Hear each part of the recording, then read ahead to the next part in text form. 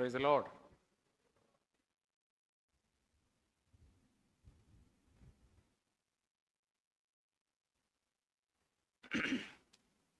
വളരെ സെൻസിറ്റീവായുള്ള ഒരു ടോപ്പിക്കാണ് ഇനി ഞാൻ കൈകാര്യം ചെയ്യാൻ പോകുന്നത് നിങ്ങൾ ഞാൻ എന്ത് അർത്ഥമാക്കുന്നുവോ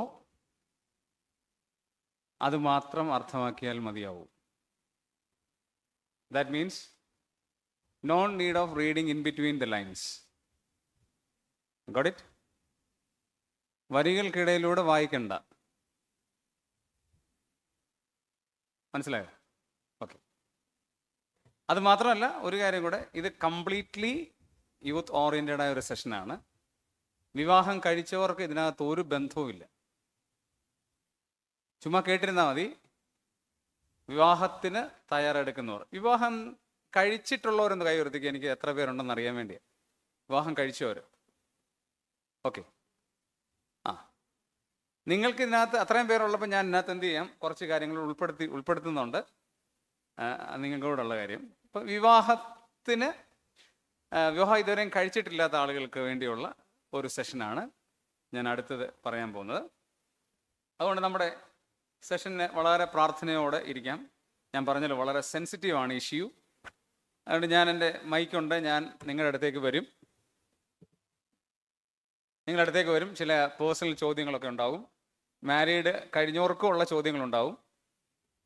അതുകൊണ്ട് നിങ്ങൾ അവിടെ ഇരിക്കുന്നവർ കുറച്ചുകൂടെ മുമ്പോട്ട് ഇരിക്കുകയാണെങ്കിൽ വളരെ നന്നായിരിക്കും. ആ സെഷൻ ആ സെഷനിലുള്ളവർ കുറച്ചുകൂടെ ആ സെക്ടറിലുള്ളവർ മുമ്പോട്ട് ഇരിക്കുകയാണെങ്കിൽ വളരെ നന്നായിരിക്കും. ഓക്കെ. അപ്പോൾ എന്റെ ചോദ്യത്തിലേക്ക് ഞാൻ പ്രവേശിക്കുകയാണ്. ചോദ്യം ഞാൻ നേരത്തെ നിങ്ങളോട് ചോദിച്ചിട്ടുണ്ടാകാം. യൂത്ത് ക്യാമ്പുകളിലൊക്കെ ഞാൻ സാറിന് ചോദിക്കുന്ന ചോദ്യമാണ്. നിങ്ങൾ രാവിലെ എഴുന്നേറ്റ് എഴുന്നേൽക്കുന്നതിന് മുമ്പ് ആദ്യം ചെയ്യുന്ന കാര്യം എന്താണ്?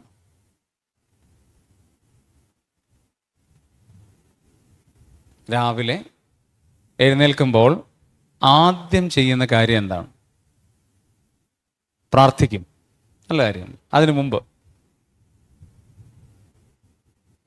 കണ്ണു തുറക്കും. വെരി ഗുഡ് അതിനു മുമ്പ്. രസി അങ്ങനെ ഉത്തരം പറയുന്ന രസം. കണ്ണു തുറക്കണല്ലോ. അല്ല പിന്നെ എഴുന്നേക്കാൻ പറ്റൂല്ലോ അതിനു മുമ്പ്. അതിനു മുമ്പ്. പേടിക്കണ്ട മോളോട് ചോദിക്കുമല്ലോ അതിനു മുമ്പ് എന്ത് ചെയ്യും? മുമ്പ്.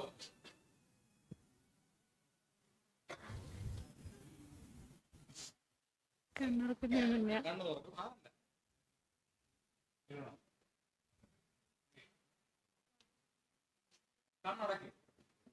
കണ്ണ് തുറക്കുന്നതിന് മുമ്പ് എന്ത് ചെയ്യും? കണ്ണടയ്ക്കും.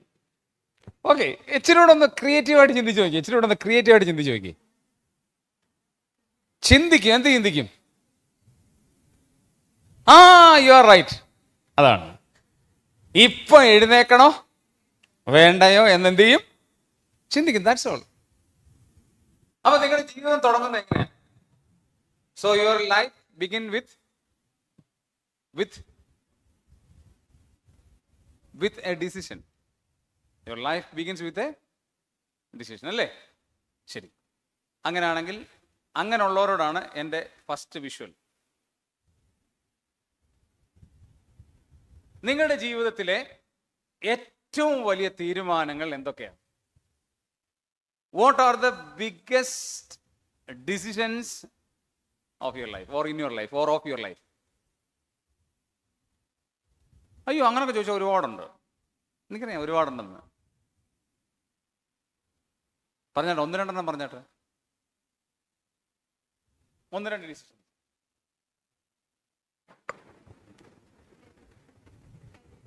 കരിയർ ഓക്കെ മോളെന്താ പറയാൻ വന്നേ? Career career okay anything else marriage കഴിഞ്ഞല്ലേ ഓക്കെ. എത്ര വർഷമായി വൺ ഇയർ ആകുന്നു marriage marriage born again okay ശരിയാണ്. ബോൺ അഗെയിൻ നല്ലൊരു ഡിസിഷനാണ് പിന്നെ കരിയർ നല്ലൊരു ഡിസിഷനാണ് പക്ഷേ അതിനേക്കാളും വലിയൊരു ഡിസിഷൻ നിങ്ങൾ ചെയ്യാൻ പോവാണ്. ഏതാണ്? മാരേജ് നിങ്ങളുടെ ജീവിതത്തിൽ നിങ്ങൾ എടുക്കാൻ പോകുന്ന ഏറ്റവും റിസ്ക് ഉള്ള ഒരു തീരുമാനം എന്ന് പറയുന്നത് എന്താണ്? പറഞ്ഞാട്ടെ. ഏ? മാരേജ് ശരിയല്ലേ? ഇവിടെ വിവാഹം കഴിഞ്ഞവരോട് ഞാൻ ചോദിക്കുകയാണെങ്കിൽ ഞാൻ ഈ കഴിഞ്ഞ ദിവസം കാത്തലിക് അച്ഛന്മാർ സംഘടിപ്പിച്ച ഒരു കോൺഫറൻസിൽ ക്ലാസ് എടുക്കാനായിട്ട് പോയി. എണ്ണൂറിലധികം കല്യാണം കഴിക്കാൻ വേണ്ടിയുള്ളവർ മാത്രമേ ഉള്ളൂ. എണ്ണൂറ് പേര്. നാനൂറ് ബോയ്സ് നാനൂറ് ഗേൾസ്. കാത്തലിക് ആണെന്ന് ഓർക്കണം. കാത്തലിക്കിന്റെ ഒരു ഡയോസിസിന്റെ കീഴിലുള്ള എണ്ണൂറ് സ്റ്റുഡൻസ് എന്റെ ഫ്രണ്ടിലിരിക്കുകയാണ്. നമ്മുടെ അല്ല കാത്തലിക് എന്ന് പറഞ്ഞാൽ മനസ്സിലാവുമല്ലോ. അവർ നമ്മളെക്കുറിച്ച് എന്നെ കണ്ടപ്പോൾ തന്നെ അവർക്ക് എല്ലാവർക്കും പ്രശ്നമായി. കാരണം പാസ്റ്ററാന്ന് കണ്ടപ്പോൾ തന്നെ മനസ്സിലായി. ക്ലീൻ ഷേവ് ഒക്കെയോ പക്ഷെ ഞാൻ പ്രസന്റ് ചെയ്തത് ഒരു കാത്തലിക് പെർസ്പെക്റ്റീവിലാണ് ഞാൻ പ്രസന്റ് ചെയ്തത്. അപ്പൊ ഞാൻ അവളോട് ചോദിച്ച ഒരു ചോദ്യമാണ് നിങ്ങളോട് ഇപ്പൊ ചോദിച്ചിരിക്കുന്നത്. അപ്പൊ ഞാൻ അവരോട് ഒരു സെക്കൻഡ് ചോദ്യം കൂടെ ചോദിച്ചു. ആ ചോദ്യം കൂടെ ഞാൻ നിങ്ങളോട് ചോദിക്കാൻ പോവാണ്. വിവാഹം കഴിക്കാത്തവരോടാണേ? വിവാഹം കഴിക്കണ്ട എന്ന് ആരെങ്കിലും ആഗ്രഹിക്കുന്നുണ്ടോ? എനിക്ക് വിവാഹം കഴിക്കാനായിട്ട് താല്പര്യമില്ല. അങ്ങനെയുള്ളവർ കൈ ഉയർത്താം ധൈര്യമായിട്ട് കൈ ഉയർത്താം ഇനി കൈ ഉയർത്താൻ മടിയാണെങ്കിൽ എന്നോട് പേഴ്സണലി പറഞ്ഞാൽ മതി. എനിക്കറിയാം ഇവിടെ ഒന്ന് രണ്ട് പേരുടെ മുഖം അങ്ങനെ തന്നെ എനിക്ക് വിഷ്വലൈസ് ചെയ്യുന്നുണ്ട്. ആളിനെ ഞാൻ പൊക്കണോ? ആളിനെ ഞാൻ പൊക്കണോ? നിങ്ങൾ പറഞ്ഞ ആളിനെ ഞാൻ പൊക്കും. പൊക്കണോ? യെസ് അല്ലേ? ശരി.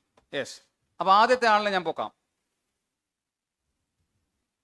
ആ റെഡ് ചുരിദാർ കറുപ്പ് ഷർട്ട് ഈ ഷാൾ ഇട്ടിരിക്കുന്ന ആൾ എഴുന്നേറ്റ്.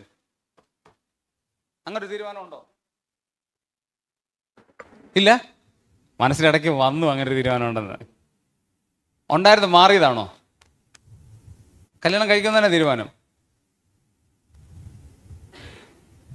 പക്ഷെ your body language shows that ഇങ്ങനെ കറക്റ്റ് ഡിസിഷൻ ഒന്നും ആയിട്ടില്ല. ഇങ്ങനെ സംശയ വേണോ വേണ്ടയോ? ശരിയല്ലേ? ഏ? പറയൂ. ശരിയല്ലേ? വേണമെന്ന് തീരുമാനിച്ചിട്ടില്ല വേണ്ടെന്ന് തീരുമാനിച്ചിട്ടില്ല എന്നാൽ പ്രായമായിട്ടില്ല. അത് പിന്നെ ഇപ്പൊ പോയി കല്യാണം കഴിപ്പിക്കാനല്ല പറയുന്നത് ഓക്കെ റൈറ്റ് അപ്പം എനിക്ക് തോന്നുന്നു ഇവിടെ ഇരിക്കുന്നതിൽ ചിലരുണ്ട്. അങ്ങനെ തീരുമാനം അല്ലെങ്കിൽ തീരുമാനമല്ല എനിക്ക് വേണ്ട. ചിലർ പറയും. എനിക്ക് വേണം. പക്ഷേ ഇപ്പോൾ ആയിട്ടില്ല. ഇപ്പോൾ കല്യാണം പോയി കഴിപ്പിക്കാനൊന്നും പോകുന്നില്ല ഇവിടെ. പക്ഷേ ഞാൻ നിങ്ങളോട് എടുക്കാൻ പോകുന്ന ടോപ്പിക് ഇതാണ്. എല്ലാവരും ഭയങ്കര പ്രതീക്ഷയോടുകൂടി ഇരിക്കുകയാണ്. എന്നാണ് എന്റെ കല്യാണം. നിങ്ങൾ പ്രതീക്ഷയൊന്നുമില്ലേ? ഉണ്ട്. തീർച്ച കള്ളം പറയരുത്. എനിക്ക് ഭയങ്കര ആഗ്രഹമായിരുന്നു കല്യാണം കഴിക്കണമെന്ന്. ഭയങ്കര ആഗ്രഹം എന്ന് പറഞ്ഞാൽ ഭയങ്കര ആഗ്രഹം. അതുകൊണ്ട് ഞാൻ എന്ത് ചെയ്യുന്നറിയാമോ? ഇരുപത്തഞ്ചാമത്തെ വയസ്സിൽ കല്യാണം കഴിച്ചു. ഇരുപത്തഞ്ച് വയസ്സായപ്പോൾ ഞാൻ കല്യാണം കഴിച്ചു. കാരണം എനിക്ക് മിനിസ്ട്രി ഓറിയന്റഡ് ആയതുകൊണ്ടുകൂടാണ് അല്ലാതെ പെട്ടെന്ന് കല്യാണം കഴിക്കുന്ന ആഗ്രഹം കൊണ്ടുകൂടെ മാത്രമല്ല മിനിസ്ട്രിയിൽ ആക്ച്വലി ഇറ്റ് ഈസ് നെസസറി അതുകൊണ്ട് ഞാൻ എന്ത് ചെയ്തു? കല്യാണം കഴിച്ചു. അപ്പം അതിന്റെ ഹെഡിങ് ഇപ്പം തന്നെ ഉണ്ട്. How to choose a life partner biblically നമ്മളൊക്കെ ഇപ്പോൾ വിവാഹം കഴിക്കാനായിട്ട് ആഗ്രഹിക്കുന്നവർ എല്ലാവരും കൈ ഉയർത്തിക്കും. എനിക്ക് എത്ര പേരുണ്ടെന്ന് റഫ് കണക്ക് കൂട്ടാൻ വേണ്ടിയാണ്.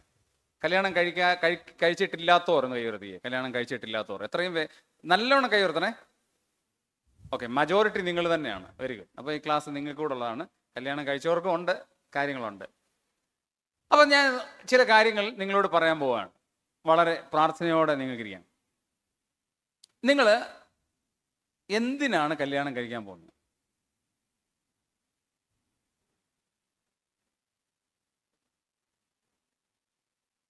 ഇങ്ങനെ ആരും ചോദിച്ചു കാണത്തില്ല. ചോദിച്ചിട്ടുണ്ടോ? എന്തിനാ കല്യാണം കഴിക്കുന്നത് ആട്ടെ വാട്ട് ഈസ് മാരേജ് വിവാഹം എന്ന് പറഞ്ഞാൽ എന്താ? ഒരാൾ പറഞ്ഞത് രണ്ട് പേർ ഭാവി കാര്യത്തെ ഓർത്ത് വ്യാകുലപ്പെട്ടും ബാക്കിയുള്ളവർ എപ്പോൾ ആഹാരം കിട്ടുമെന്ന് ചിന്തിക്കുന്ന ഒരു ചടങ്ങാണ് വിവാഹം. രണ്ടുപേരും അവിടെ ഇങ്ങനെ ടെൻഷൻ അടിച്ചിരിക്കുകയാണ്. കാരണം എന്താകും ഈ കല്യാണം? എന്താകും ടെൻഷൻ അടിച്ചിരിക്കുക. ബാക്കിയുള്ളവർക്കുള്ള ചിന്ത എന്താ? എപ്പോൾ ഈ പ്രസംഗം ഒന്ന് തീരും? എനിക്ക് എപ്പോൾ ആഹാരം കിട്ടുമെന്നുള്ളതാണ്. ഓക്കെ എന്തിനാണ് നിങ്ങൾ വിവാഹം കഴിക്കാൻ പോകുന്നത്? ഞാൻ കല്യാണം കഴിക്കുന്നതിന് മുമ്പ് എനിക്ക് ഇങ്ങനെയുള്ള ക്ലാസ് ഒന്നും കിട്ടിയിട്ടില്ല. പക്ഷെ ഞാൻ ഇങ്ങനെയുള്ള ഈ സൈക്കോളജിയിലെ മാസ്റ്റേഴ്സ് എടുത്തപ്പോഴാണ് ലിറ്ററലി ഇതിന്റെ ആവശ്യം എന്താണെന്ന് എനിക്ക് ബോധ്യമായത്. ഫാമിലി സൈക്കോളജിയിൽ മാസ്റ്റേഴ്സ് എടുത്തപ്പോഴാണ് ഇതിന്റെ ആവശ്യകത നമ്മുടെ യങ് തലമുറയെ ഇത് ബോധ്യമാക്കേണ്ട ഉത്തരവാദിത്വം എനിക്ക് മനസ്സിലായത്. അപ്പോൾ ഞാൻ നിങ്ങളോട് വളരെ ആധികാരികമായി ഞാൻ നിങ്ങളോട് ചോദിക്കാം ഇനി ഈ ചോദ്യത്തിന് ഉത്തരം കിട്ടിയാൽ എന്റെ ക്ലാസ് ഇവിടെ തീരത്തില്ല അതുകൊണ്ട് ഞാൻ പോവാം മുമ്പോട്ട്. ഒരുപക്ഷെ ലോകപരമായ ആളുകൾ ചിന്തിക്കുന്ന ഇങ്ങനെയാണ്. നമ്പർ വൺ എനിക്ക് ഡൗറി കിട്ടണം. നല്ല സാമ്പത്തികം വേണം. കുറേ ഡൗറി കിട്ടണം. എന്റെ കടമുണ്ട്. ആമ്പിള്ളേർ അങ്ങനെ ചിന്തിക്കുന്നത്. കുറേ കടമൊക്കെ ഉണ്ട്. പെണ്ണിന്റെ കാശ് കിട്ടിയിട്ട് വേണം അടിച്ച് പൊളിക്കാൻ. ഞാൻ ഒരു കാര്യം പറയട്ടെ? ഡൗറി മേടിക്കുന്നതും തെറ്റാണ്. കൊടുക്കുന്നതും തെറ്റാണ്. ഞങ്ങളുടെ ചർച്ചിൽ ഞങ്ങൾ ശുശ്രൂഷ തുടങ്ങിയ സമയത്ത് എടുത്ത മേജർ ഡിസിഷൻസിൽ ഒന്നായിരുന്നു. ഞങ്ങളുടെ ചർച്ചയിൽ നിന്ന് വിവാഹം കഴിക്കുന്നവർക്ക് ഞങ്ങൾ ഡൗറി കൊടുക്കൂല. മേടിക്കൂല. ആ അങ്ങനെയുണ്ട്. കൊടുക്കത്തില്ലെന്ന് മാത്രമല്ല ആ, മേടിക്കത്തുമില്ല. എന്റെ മോൾ കല്യാണപ്രായമൊക്കെ ആയിരിക്കുകയാണ്. ഇരുപത്തിരണ്ട് വയസ്സായി. ആർക്കും ഞങ്ങൾ കൊടുക്കത്തില്ല. ഡൗറി കൊടുക്കത്തില്ല. ഡൗറിയായിട്ട് കൊടുക്കത്തില്ല. അവക്ക് ഞങ്ങൾക്കുള്ള സ്വത്ത് അവക്കുള്ള അത് വേറെ കാര്യം. ഡൗറി എന്ന് ചോദിക്കുന്ന വരുന്നവർക്ക് ഞങ്ങളുടെ ചർച്ചയിൽ നിന്ന് ആരും പെണ്ണ് കൊടുക്കത്തില്ല. ഞങ്ങൾ അങ്ങനെയാണ് പതിനാല് കല്യാണങ്ങൾ ഞങ്ങളുടെ ചർച്ചയിൽ നടത്തി. ഞാൻ വർക്ക് ചെയ്തിട്ട് ഇരുപത്തഞ്ച് വർഷമായിട്ട് വർക്ക് ചെയ്ത്. പതിനെട്ട് കുടുംബങ്ങളുണ്ട്. അതിനകത്തുനിന്ന് കല്യാണം കഴിഞ്ഞ് പതിനാല് കല്യാണങ്ങൾ നടന്നു. അതിനകത്ത് ഒരൊറ്റ ഒരെണ്ണത്തിന് പോലും ഡൗറി കൊടുത്തില്ല. ആറ് ആമ്പിള്ളേർ ഇങ്ങോട്ട് മേടിച്ചു. ഇങ്ങോട്ട് കല്യാണം കഴിച്ച് പെണ്ണിനെ മേടിച്ചു. ഡൗറി മേടിച്ചില്ല. സാമ്പത്തികമായിരിക്കരുത് നിങ്ങളുടെ ലക്ഷ്യം. രണ്ടാമത്തെ കാര്യം നിങ്ങൾക്കുള്ള മുഷിപ്പൊഴിവാക്കാൻ വേണ്ടി ആയിരിക്കരുത് കല്യാണം. ഞാൻ ആ പാടെ ബോറിംഗ് ആയി. എത്ര നാളായി ഇങ്ങനെ നിൽക്കാൻ തുടങ്ങിയിട്ട്? ഒരാളെ കിട്ടിയായിരുന്നെങ്കിൽ വർത്തമാനമൊക്കെ പറഞ്ഞൊക്കെ ഇരിക്കായിരുന്നു. ചിരിച്ചും കളിച്ചുമൊക്കെ ഇരിക്കായിരുന്നു. ഒറ്റയ്ക്ക് ഇരുന്ന് മുഷിയുമാണ് അതുകൊണ്ട് ഈ മുഷിപ്പൊന്ന് ഒഴിവാക്കാൻ വേണ്ടി വേണ്ട. അതിനുവേണ്ടി കല്യാണം വേണ്ട. അതിനുവേണ്ടി നിങ്ങൾക്ക് ഒരു മൊബൈൽ ഉണ്ടെങ്കിൽ മതി മുഷിപ്പ് ഒഴിവാക്കാം. വെറുതെ ഒരു പെണ്ണിന്റെ ഭാവി എന്ത് ചെയ്യണ്ട? കളയണ്ട. വെറുതെ ഒരു ചെറുക്കന്റെ ഭാവിയും കളയണ്ട. നിങ്ങൾക്ക് എന്ത് ചെയ്യാം? മുഷിപ്പ് ഒഴിവാക്കാൻ വേണ്ടി കല്യാണം കഴിക്കണ്ട. മൂന്നാമത്തെ ഇമ്പോർട്ടന്റ് ആയ കാര്യം ചിലരെ പ്രതികാരം തീർക്കാൻ വേണ്ടിയാണ്. ഞാൻ ഒരാളെ ലൈൻ ഇട്ടു. അവളെ എനിക്ക് കിട്ടിയില്ല. അവളെക്കാളും നല്ലൊരുത്തിയെ ഞാൻ കല്യാണം കഴിക്കണം. ഒരുത്തൻ എന്നെ തേച്ചിട്ട് പോയി. അവന്റെ മുമ്പിൽ ഏറ്റവും ബെറ്ററായ ഒരുത്തനെ ഞാൻ എന്ത് ചെയ്യണം? കെട്ടിക്കൊണ്ട് അവന്റെ മുമ്പിലൂടെ എന്ത് ചെയ്യണം? നടക്കണം. അതെന്റെ ഒരു വാശിയാണ് അതിന് കല്യാണം അരുത്. അതിനല്ല കല്യാണം. അങ്ങനെ വിവാഹം കഴിക്കുന്നത് ഒരു ഫെയിലിയർ ആണ്. Your attitude is most important than your words നമ്മുടെ മനോഭാവമാണ് ഏറ്റവും ഇമ്പോർട്ടന്റ് ആയ കാര്യം. നാലാമത്തെ കാര്യം കല്യാണം കഴിക്കുന്നത് എല്ലാവരും കല്യാണം കഴിക്കുന്നു അതുകൊണ്ട് ഞാനും കല്യാണം കഴിച്ചേക്കാം.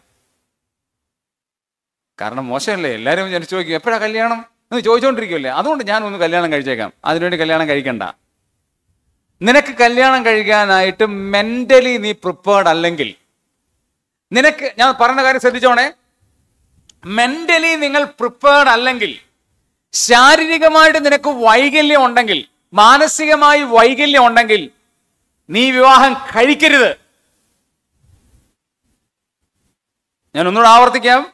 ശാരീരികമായി മാനസികമായി വൈകല്യം ഉണ്ടെങ്കിൽ വിവാഹം പറഞ്ഞേ കഴിക്കരുത്. കാരണം നിങ്ങളെ വഞ്ചിക്കുകയാണ് അവരെ വഞ്ചിക്കുകയാണ്.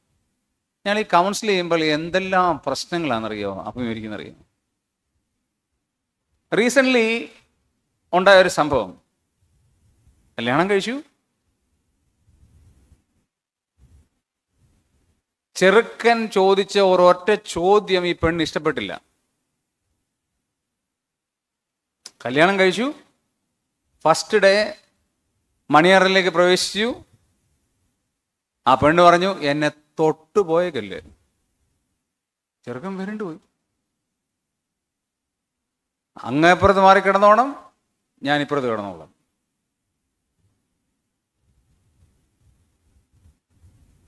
മൂന്ന് വർഷമായും തോന്നുന്നു. രണ്ടുപേരും തമ്മിൽ ഡൈവോഴ്സിന്റെ വക്കത്താണ്. കല്യാണം ഉപേക്ഷിക്കാൻ പറ്റുമോ? ചർച്ച് പറയുന്നു ബൈബിൾ പറയുന്നു ഉപേക്ഷിച്ചാൽ പാവമാണ് ഉപേക്ഷിക്കാതിരിക്കാൻ പറ്റുമോ? ആകെപ്പാടെ പ്രശ്നമാണ്. വീട്ടുകാരുടെ പ്രശ്നം സഭക്കാരുടെ പ്രശ്നം നാട്ടുകാരുടെ പ്രശ്നം ആകെ പ്രശ്നം. ഞാൻ സിമ്പിൾ ചോദിക്കുന്നു. ഒരു നിമിഷം കൊണ്ട് പറഞ്ഞാൽ പോരെ. എനിക്ക് നിന്നെ ഇഷ്ടമല്ല. എനിക്ക് ഇഷ്ടമല്ലെന്ന് ആ പെൺകുട്ടി പറഞ്ഞാൽ പോരെ? വെറുതെ ഒരു ചെറുക്കന്റെ ഭാവിയും കളഞ്ഞു ഒരു സഭയുടെ ഭാവി കളഞ്ഞു മാതാപിതാക്കളുടെ ഭാവി കളഞ്ഞു. എന്തിനാണ് ഇങ്ങനെ നിങ്ങൾക്ക് മറ്റുള്ളവരെ വിവാഹം കഴിക്കുന്നത് കൊണ്ട് നിങ്ങളും കഴിക്കണം. വേണ്ട. അങ്ങനെ വേണ്ട. നിങ്ങൾക്ക് ഇഷ്ടമുണ്ട് ദൈവത്തിന്റെ ഹിതമാണ് നിങ്ങൾ കല്യാണം കഴിക്കണം എന്നുള്ളത് പ്രയോറിറ്റി അതാണ്. ദൈവത്തിന്റെ ഹിതമാണ് നിങ്ങൾ കല്യാണം കഴിക്കണം എന്നുണ്ടെങ്കിൽ നിങ്ങൾ മെന്റലി പ്രിപ്പയർ ആണ് ശാരീരികമായിട്ട് ഫിറ്റ് ആണ് മറ്റു പ്രശ്നങ്ങളൊന്നും ഇല്ലെങ്കിൽ കല്യാണം കഴിക്കരുത് പ്ലീസ് ഫിറ്റ് അല്ലെങ്കിൽ കല്യാണം കഴിക്കരുത്. അതുകൊണ്ട് എല്ലാവരും കല്യാണം കഴിക്കുന്നതുകൊണ്ട് ഞാനും പോയി കല്യാണം കഴിച്ചേക്കാം. നോ അതിന്റെ ആവശ്യമില്ല. അഞ്ചാമത്തെ കാര്യം നിങ്ങൾ ശാരീരികമായ അട്രാക്ഷന്റെ ഫലമായി നിങ്ങളുടെ തെറ്റ് മറക്കാൻ വേണ്ടി കല്യാണം കഴിക്കരുത്. നിങ്ങൾക്കൊരു മിസ്റ്റേക്സ് ഉണ്ട്. അത് ചിലപ്പം മെന്റൽ മിസ്റ്റേക്സ് ആയിരിക്കും. ഞാൻ റീസെന്റ്ലി ചെയ്ത ഒരു കേസ് വിവാഹം കഴിഞ്ഞു. പക്ഷേ ആ പയ്യൻ ഗേ ആണ്. മനസ്സിലായോ? ഗേ ആണ്. ആ പെൺകുട്ടി വീട്ടിൽ ചുമ്മാ നിൽക്കുകയാണ് ഒടുവിൽ ആ പെൺകുട്ടി എന്ത് ചെയ്തു? അവക്ക് മനുഷ്യൻ ആഹാരം കഴിക്കുന്നത് പോലെ തന്നെ ആവശ്യം സെക്ഷൽ ആവശ്യം. അവൾ അടുത്ത ആളെ തേടി പോയി. ഇഷ്യൂ നമ്മുടെ വേർപെട്ടാരല്ല ഇഷ്യൂ ആയി പ്രോബ്ലം ആയി. ഭർത്താവിന് പ്രശ്നമില്ല പക്ഷെ വീട്ടുകാർക്ക് പ്രശ്നമായി.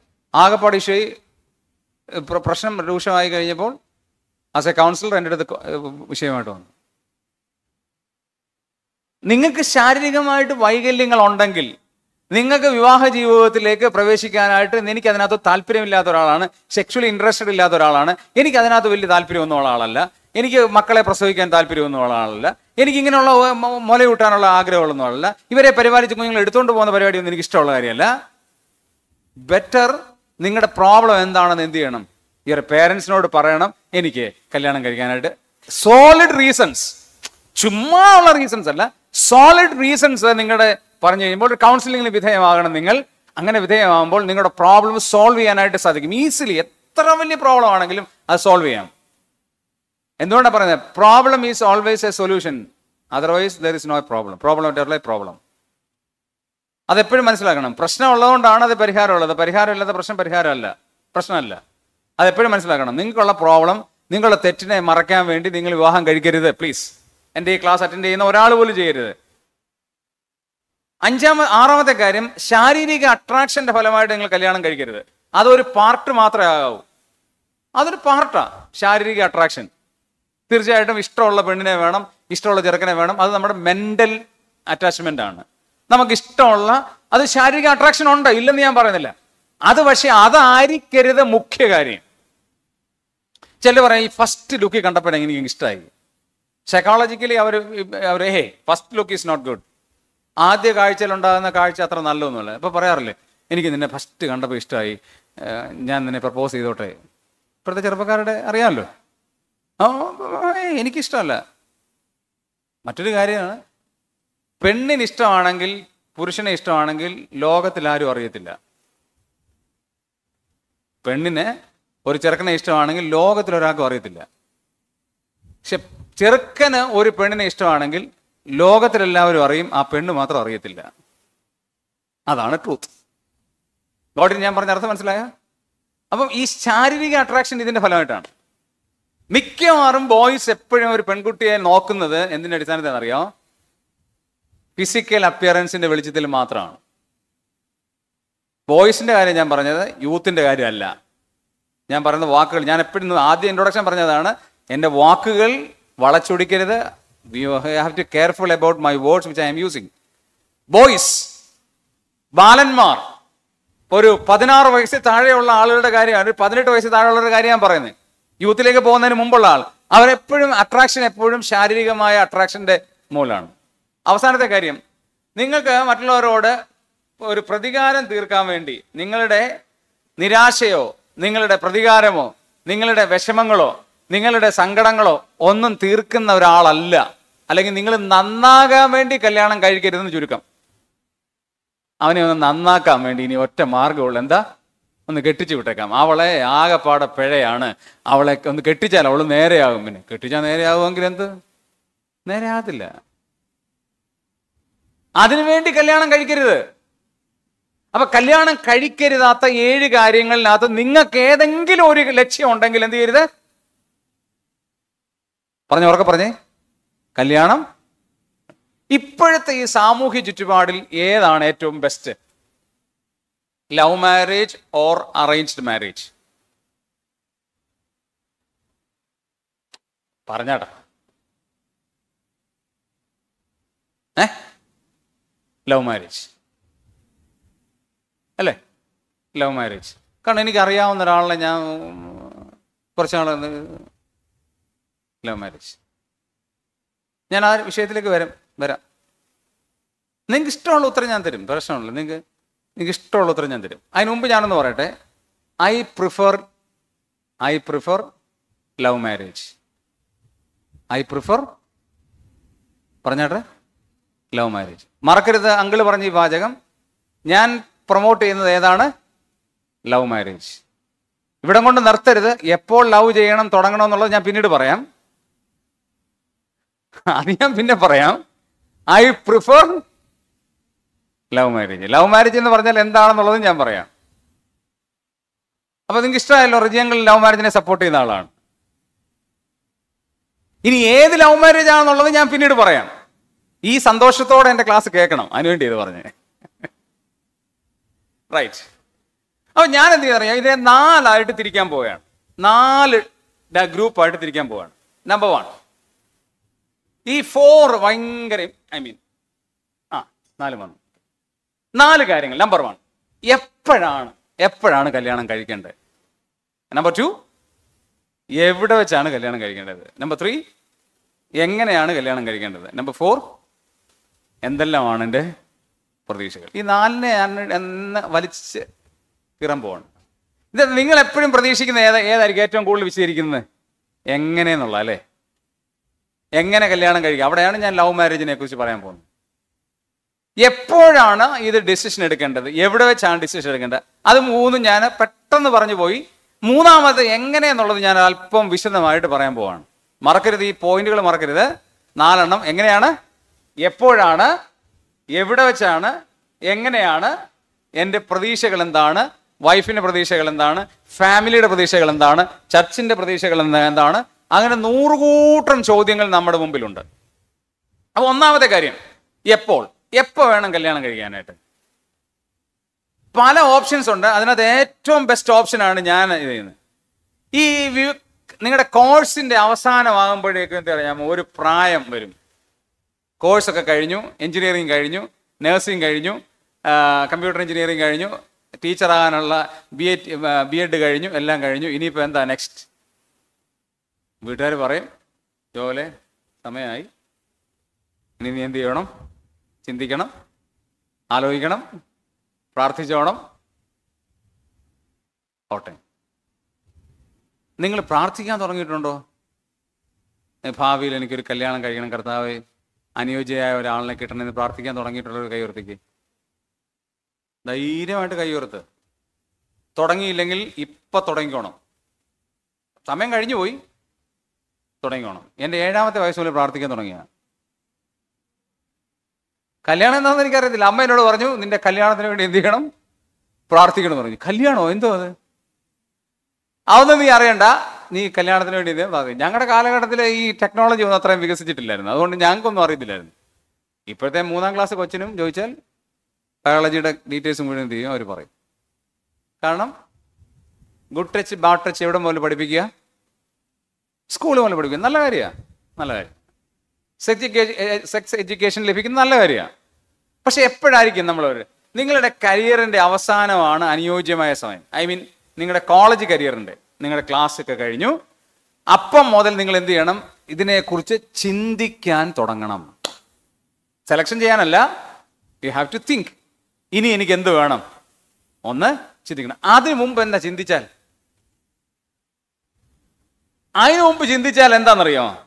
നിങ്ങളുടെ തീരുമാനം അങ്ങോട്ടും ഇങ്ങോട്ട് മാറിക്കൊണ്ടിരിക്കുക. പതിനെട്ട് വയസ്സ് മുകളിലേക്ക് വരുമ്പോൾ നിങ്ങൾക്ക് അതിനുള്ള പക്വതയില്ല. ആർക്കാ പക്വത കൂടുതൽ? ആൺകുട്ടികൾക്കാണോ പെൺകുട്ടികൾക്കാണോ പെൺകുട്ടികൾക്കാ? പക്വത കൂടുതൽ? യെസ് സമ്മതിച്ചു കൊടുക്കാൻ പറ്റുമോ? ഇല്ല പക്ഷെ സമ്മതിച്ചേ പറ്റൂ അതാ. ഗവൺമെന്റ് എത്ര വയസ്സ് വെച്ചിരിക്കുന്നത് കല്യാണം കഴിക്കാനുള്ള ആമ്പിള്ളേരുടെ വയസ്സ്? ഇരുപത്തൊന്ന്. പെൺപിള്ളേർക്കോ? ആ അത് തന്നെ. അത് തന്നെ വെളിപ്പെടുത്തുന്നത് പക്വത ആർക്കാ കൂടുതലെന്നാ? ഇനി സൈക്കോളജിക്കലി ഇവർ ഗവൺമെന്റ് ഒരു ലോ വെച്ചിരിക്കുന്നത് വെറുതെ അല്ലല്ലോ. വെറുതെ അല്ലല്ലോ. ബൈബിളും അത് തന്നെയാണ് പറയുന്നത്. നമ്മൾ ബൈബിൾ പ്രിൻസിപ്പിളിലേക്ക് പോവാണ്. എന്റെ ലക്ഷ്യം തന്നെ എന്താണ്?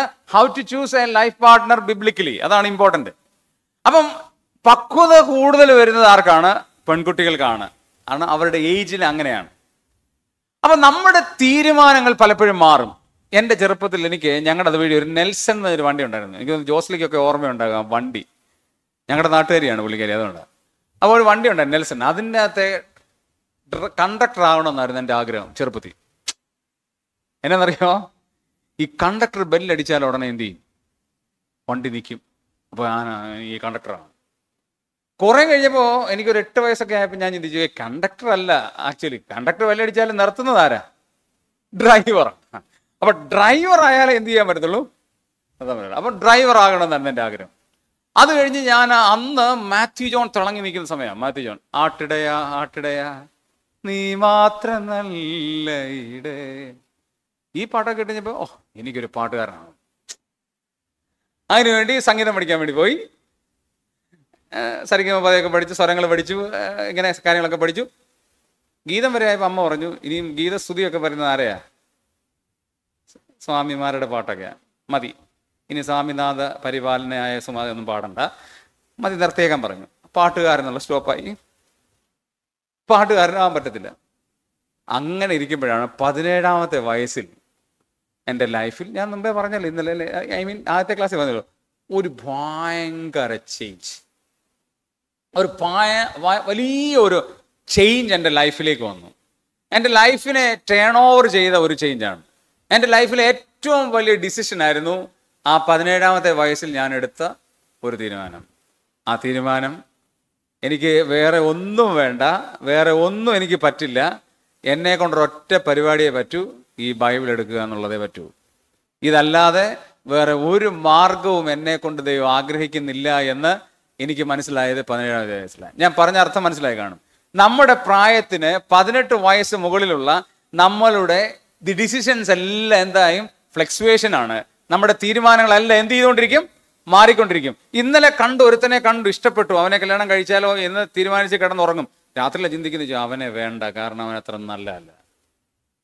വിവാഹങ്ങൾ ഒരുമിച്ച് ആലോചിച്ച് എൻഗേജ്മെന്റ് ആയി. അതിന്റെ തലേ രാത്രി നീങ്ങിപ്പോയ സംഭവം എനിക്കറിയാം.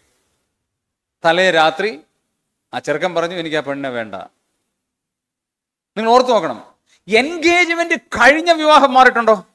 യെസ് എനിക്കറിയാം.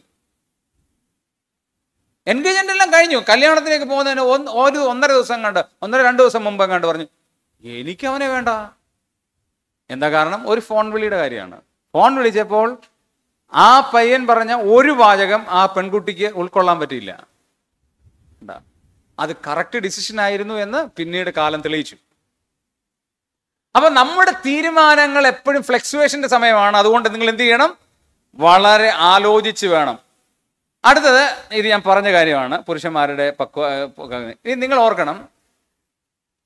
ഇരുപത്തഞ്ച് മുപ്പത് എന്ന് പറയുന്നത് ഒരു വരയുണ്ട്. അത് പക്ഷേ ഫ്ലവർ പോയിന്റ് വന്നിട്ടില്ലെന്നുള്ളേ ഉള്ളൂ. മെച്യൂരിറ്റി ലെവൽ സാധാരണയായി ഇരുപത്തി അഞ്ചിന് മുപ്പതിനും വയസ്സിനിടയ്ക്കാണ് പുരുഷന്മാരും സ്ത്രീകളും തമ്മിൽ തുല്യമായ ഒരു മെച്യൂരിറ്റി ലെവലിലേക്ക് വരുന്നത്. അതുകൊണ്ട് ഈ അഞ്ച് വയസ്സിന്റെ ഡിഫറൻസ് എപ്പോഴും വിവാഹത്തിൽ സൂക്ഷിക്കുന്നത് വളരെ നല്ലത് minimum two years maximum five ഞാൻ പറഞ്ഞ മനസ്സിലായോ? Minimum two years maximum five ഏറ്റവും ബെറ്ററാണ് അപ്പൊ നിങ്ങൾ ചോദിക്കായിരിക്കും അങ്കിളിന്റെ എത്ര ഉണ്ട്? ഫോർ ഇയേഴ്സ് ഡിഫറൻസ് ഉണ്ട്. കൃത്യമായിട്ട് പറയണത് ത്രീ ആൻഡ് ഹാഫ് അപ്പോൾ നമ്മൾ ഇതൊന്നും നമ്മൾ പ്ലാൻ ചെയ്തിട്ട് ചെയ്തതല്ല. ഞങ്ങൾക്ക് ഇതൊന്നും കോഴ്സ് പോലും കിട്ടിയിട്ടില്ല ഇങ്ങനെ ഒരു ക്ലാസ് ഒന്നും കിട്ടിയിട്ടില്ല. പക്ഷെ നിങ്ങൾക്ക് ബെറ്റർ ആയിട്ട് തരുന്നതിന്റെ കാരണം നിങ്ങൾ ജീവിക്കുന്ന സാഹചര്യം ഇന്ന് ഭയങ്കര ഇൻഫ്ലുവൻസ് ഉള്ള ഒരു സ്വാധീനത്തിലാണ് നിങ്ങൾ ജീവിക്കുന്നത്. അതുകൊണ്ട് എപ്പോഴും നിങ്ങൾ ഓർക്കേണ്ടത് വളരെ ആവശ്യമാണ്. അടുത്തത് എപ്പോഴാണെന്നുള്ളത് നിങ്ങൾ ഓർക്കണം. നിങ്ങളുടെ സ്ഥലം സഭ അതിനകത്ത് നിങ്ങൾക്ക് സപ്പോർട്ട് ചെയ്യുന്ന ഒരു പ്രായമുണ്ട്.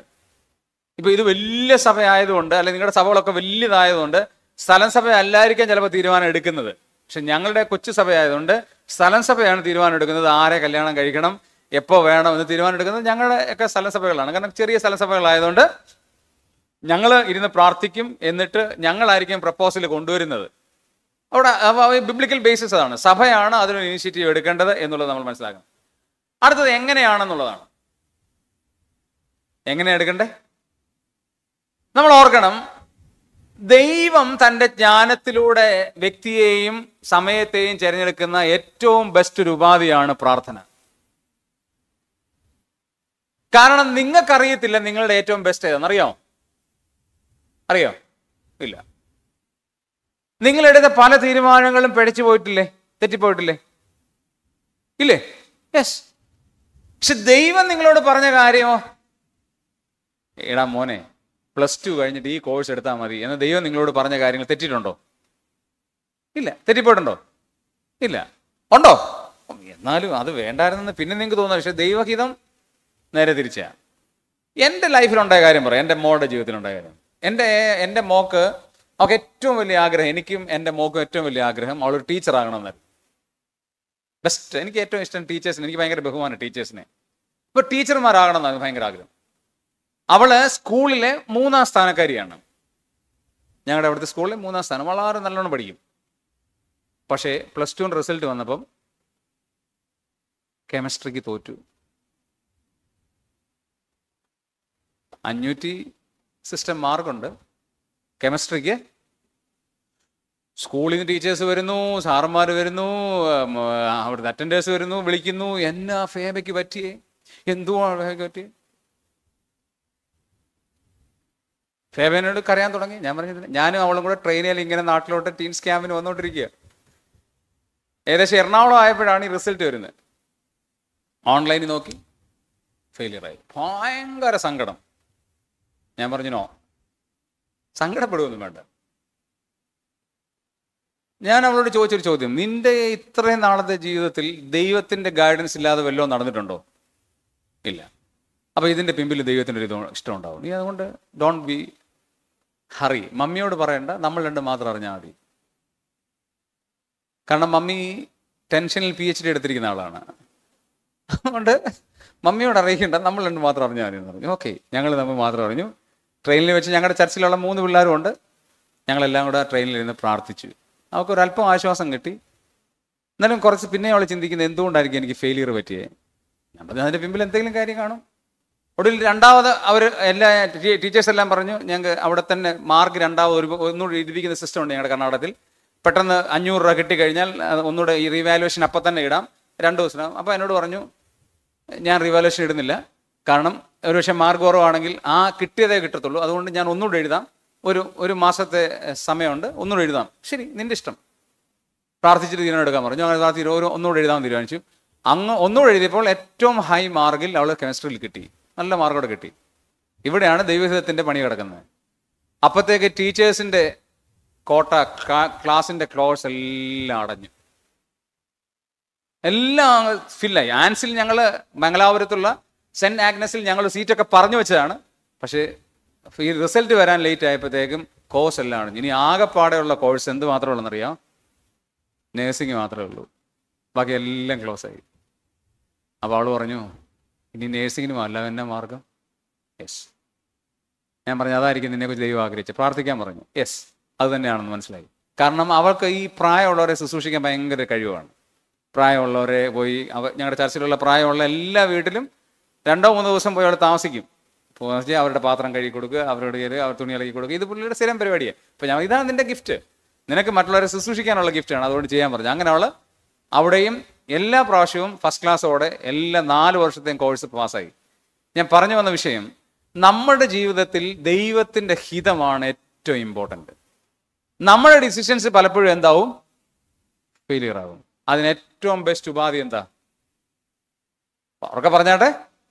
പ്രാർത്ഥിക്കുക. പ്രാർത്ഥിക്കാൻ തുടങ്ങിയിട്ടുണ്ടോ?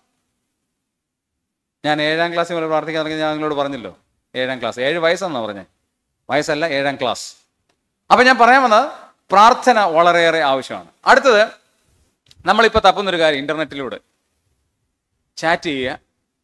പക്ഷേ ഈ ഇന്റർനെറ്റിലൂടെ തപ്പുന്ന പ്രൊഫൈൽസ് എല്ലാം എന്തായിരിക്കും എന്നറിയാം കള്ളമായിരിക്കും. പ്രൊഫൈൽസ്. അവർ ഇൻസ് ഇൻസ്റ്റയിൽ അപ്ലോഡ് ചെയ്യുന്ന പ്രൊഫൈൽ അവരുടെ റിയൽ പ്രൊഫൈലുമായിട്ട് ഫിൽറ്റർ ഇടാത്ത ഒറ്റ വീഡിയോയും ഫോട്ടോയും കാണത്തില്ല. അപ്പം നമ്മളെന്ത് വിചാരിക്കും? എന്ത് രസം അവന്റെ കണ്ണ് നോക്കി എന്നാ രസം. അവന്റെ മുഖം നോക്കി അവിടെ മുഖം നോക്കി. ചുമ്മാ എല്ലാം ഫിൽറ്റർ ചെയ്തിരിക്കുന്നത് ഇന്റർനെറ്റിലൂടെ ഉള്ള നിങ്ങളുടെ ഈ അവർ പ്രപ്പോസ് ചെയ്യുന്നതൊക്കെ എന്തായിരിക്കും? ഒരു എയ്റ്റി പെർസെന്റേജോളം കള്ളം പറയുന്നതായിരിക്കും. അതുകൊണ്ട് നിങ്ങൾ അങ്ങനെ തപ്പരുത്. നിങ്ങൾ പ്രാർത്ഥിച്ചാൽ മതി. ദൈവം നിങ്ങൾക്ക് അനുയോജ്യ ഒരാളിനെ കൊണ്ടുതരുമോ ആ ഇവിടെ ഒരു ആന്റി ഇരിപ്പുണ്ട്. ആന്റിയുടെ കസിനെയാണ് ഞങ്ങളുടെ ഒരു മോൾ കല്യാണം കഴിച്ചത്. അല്ലെങ്കിൽ നമ്മുടെ ബോയ് ബ്രദറിന്റെ കസിനാണ് എന്റെ ചർച്ചിലുള്ള ഒരാളിനെ കല്യാണം കഴിച്ചു ജിൻസി എന്നാണ് പേര്. രാജേന്ദ്രൻ അങ്കിൾ ഈ സഭയിലുള്ള രാജേന്ദ്രൻ അങ്കിളിന്റെ മോൻ എബി. അവർ തമ്മിൽ കാണുന്നത് എപ്പോഴാണെന്നറിയാമോ? അവർ തമ്മിൽ നേരിൽ കാണുന്നത് എൻഗേജ്മെന്റിന്റെ തലേദിവസമാണ്. കാരണം പ്രപ്പോസ് ചെയ്ത് ഞാനാണ് ആ കല്യാണം ആലോചിച്ചത്. കാണുന്നത് നേരിൽ കാണുന്നത് വിവാഹത്തിന്റെ എൻഗേജ്മെന്റിന്റെ തലേദിവസമാണ്. രണ്ടുപേരെ എനിക്കറിയാം രണ്ടുപേരെയും വ്യക്തമായി അറിയാവുന്നതുകൊണ്ട് ഞാൻ പറഞ്ഞു നിങ്ങൾക്ക് അനുയോജ്യമായ ഒരു വിവാഹമാണ് എന്ന് പറഞ്ഞ് ദൈവത്തിന്റെ ഹിതത്തിന് വേണ്ടി യോജിപ്പിച്ചു. മനുഷ്യരല്ല യോജിപ്പിക്കുന്നത്. ജിനുവിനോട് എപ്പോഴും പറയും ജിൻസി എന്നാണ് അവിടെ പേരെങ്കിലും ഞങ്ങൾ ജിനു ജിനു എന്നാണ് വിളിക്കുന്നത്. ജിനുവിനോട് എപ്പോഴും പറയും മോളെ പ്രാർത്ഥനയാണ് ഏറ്റവും ബെസ്റ്റ് നമുക്ക് ദൈവം തക്ക സമയത്ത് ബെസ്റ്റ് ഒരാളിനെ എന്ത് ചെയ്യും? കൊണ്ടുതരും. എന്റെ മോൾ വിവാഹപ്രായം ഇങ്ങനെ ആയി വരുന്നു. ഇരുപത്തിരണ്ട് കഴിഞ്ഞു. അപ്പം പപ്പാ കല്യാണം കഴിക്കണ്ടേ? എന്ന് ഞാൻ പറയാൻ പറയും പപ്പാ ഞാൻ ഇപ്പോഴും കുഞ്ഞു പെണ്ണ. ഞാൻ പറഞ്ഞു കുഞ്ഞു പെണ്ണ നീ വീട്ടിൽ പറഞ്ഞാൽ മതി. പുറത്തൊന്നും നീ എന്ത് ചെയ്യണ്ട? പറയണ്ട. പ്രാർത്ഥന അത് ഏറ്റവും ആവശ്യമാണ്. അതുകൊണ്ട് നമ്മളായിട്ട് തരയരുത്. അടുത്ത നമ്മുടെ പ്രതീക്ഷ നമുക്കൊരു പങ്കാളിയെ ലഭിക്കാൻ വേണ്ടി ഒരുപാട് പ്രതീക്ഷകളുണ്ട്. എന്താ പ്രതീക്ഷ? ചില ആളുകൾ പങ്കാളിയിൽ പ്രതീക്ഷിക്കുന്ന കുറേ കാര്യങ്ങളുണ്ട്. എന്തെല്ലാം അറിയാം? നമ്പർ വൺ സ്പിരിച്വാലിറ്റി നല്ലതായിരിക്കണം എന്റെ കൂട്ട് ആത്മീയനായിരിക്കണം. എന്റെ കൂട്ട് ആത്മീയതയുള്ള ആളായിരിക്കണം. ഫിനാൻഷ്യലി സാമ്പത്തികമായിട്ട് എന്താ കാണിക്കണം? ഈ പ്രതീക്ഷയൊക്കെ ഉള്ള ഒരാളായിരിക്കണം. അക്കാഡമിക്കലി വിദ്യാഭ്യാസപരമായി എന്നോട് വളരെ തുലനം ചെയ്യുന്ന ഒരാളായിരിക്കണം. വേണ്ടേ? അതോ താഴെയുള്ള ആളായിരിക്കണോ? ഇനി ഞാൻ രണ്ടു മൂന്ന് കാര്യങ്ങൾ അവോയ്ഡ് ചെയ്തു. എന്താണെന്നറിയാം ജാതി.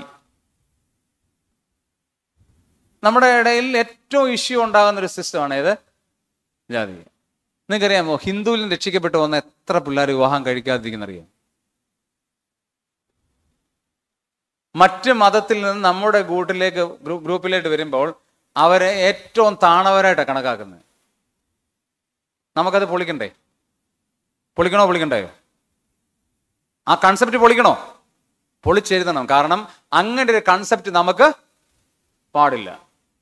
ദൈവം നമുക്ക് തരുന്നത് ഏതാണ് എന്നുള്ളത് ദൈവമാണ് വെളിപ്പെടുത്തുന്നത്. അതുകൊണ്ട് ഇങ്ങനെയുള്ള ജാതീയപരമായ ചിന്തകളോ കൾച്ചർ വൈസ് ഉള്ള ചിന്തകളോ സ്റ്റേറ്റ് വൈസ് ഉള്ള ചിന്തകളോ ഒക്കെ മാറണം.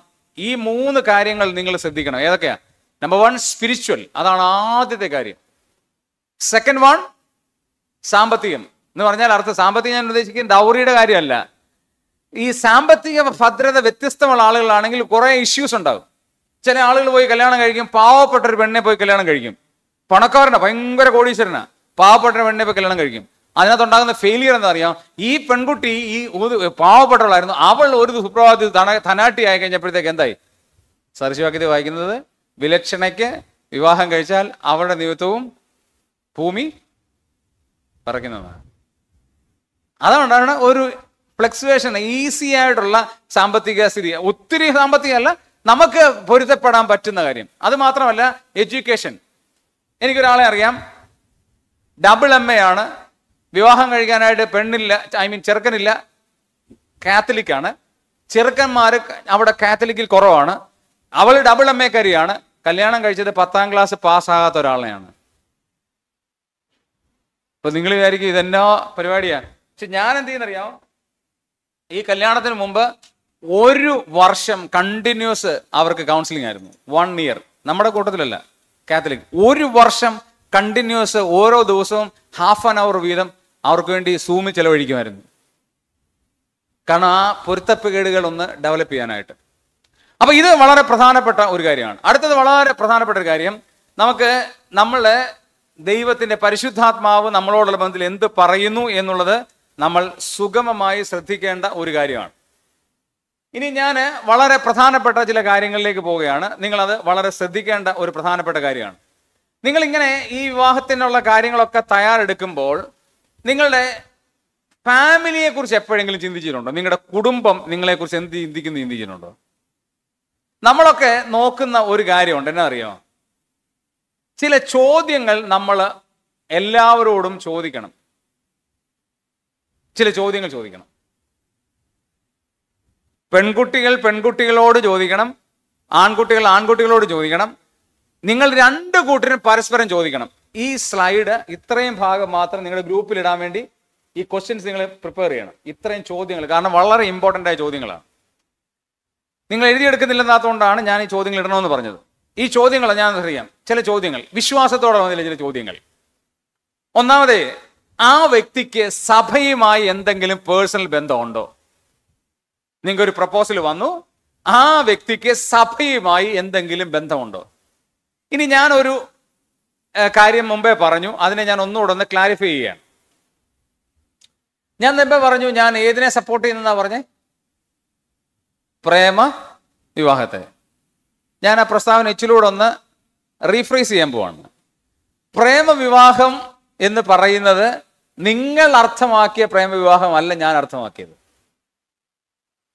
Got it? നിങ്ങൾ അർത്ഥമാക്കിയ പ്രേമവിവാഹമല്ല ഞാൻ അർത്ഥമാക്കിയത്. ഞാൻ അർത്ഥമാക്കിയ പ്രേമവിവാഹം എന്താണെന്ന് ഞാൻ പറയാം. അപ്പൊ ഇവിടെ സഭയുമായി ആ വ്യക്തിക്ക് എന്തോ ഉണ്ടോ? ബന്ധമുണ്ടോ എന്ന് നോക്കണം. രണ്ട് ആ വ്യക്തിക്ക് ദൈവവുമായി എന്താണ് ബന്ധം?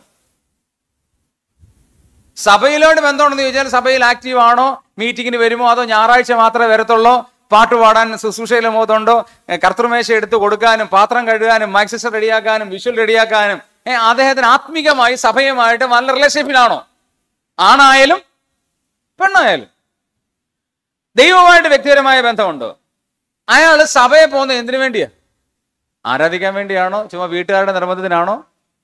You have to ask these question to yourself and also to others അടുത്തത് വിശ്വാസം യേശു ക്രിസ്തുവിന് അയാളുടെ ജീവിതത്തിൽ ഒന്നാമനാണോ? ഡിസിഷൻ എടുക്കുന്ന കാര്യത്തിൽ ഒന്നാമനാണോ? ഈ കാര്യം നമ്മളൊന്ന് ചിന്തിക്കണം. ഒരു മിനിറ്റ്. ഞാൻ കുറച്ചുകൂടെ കാര്യങ്ങൾ പറഞ്ഞതിന് ശേഷം ഈ ചോദ്യത്തിലേക്ക് വരാം എന്ന് എനിക്കിപ്പോൾ തോന്നുന്നു. അതുകൊണ്ട് ഞാൻ അതിലേക്ക് പോവുകയാണ്. അപ്പൊ നിങ്ങൾ ഇപ്പോഴത്തെ വളരെ പ്രധാനപ്പെട്ട ഒരു കാര്യമാണ് ലവ് മാരേജ്. ഇപ്പൊ എല്ലാ ആളുകളും പറയാണ് ലവ് മാരേജ് ആണ് ഏറ്റവും നല്ലത്. കാരണം എന്നാ അറിയാം? ലവ് മാരേജ് ആകുമ്പോൾ നമുക്ക് പരസ്പരം എന്ത് ചെയ്യാം? അറിയാം. പരസ്പരം എന്ത് ചെയ്യാം? അറിയാം. പരസ്പരം അറിയാം?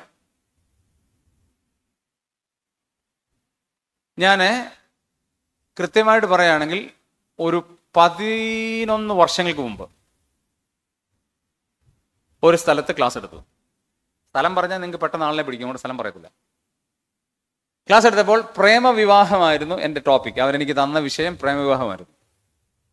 അപ്പോൾ പ്രേമവിവാഹത്തെക്കുറിച്ച് ഞാൻ നല്ല രസികമായ ഒരു ക്ലാസ് എടുത്തു.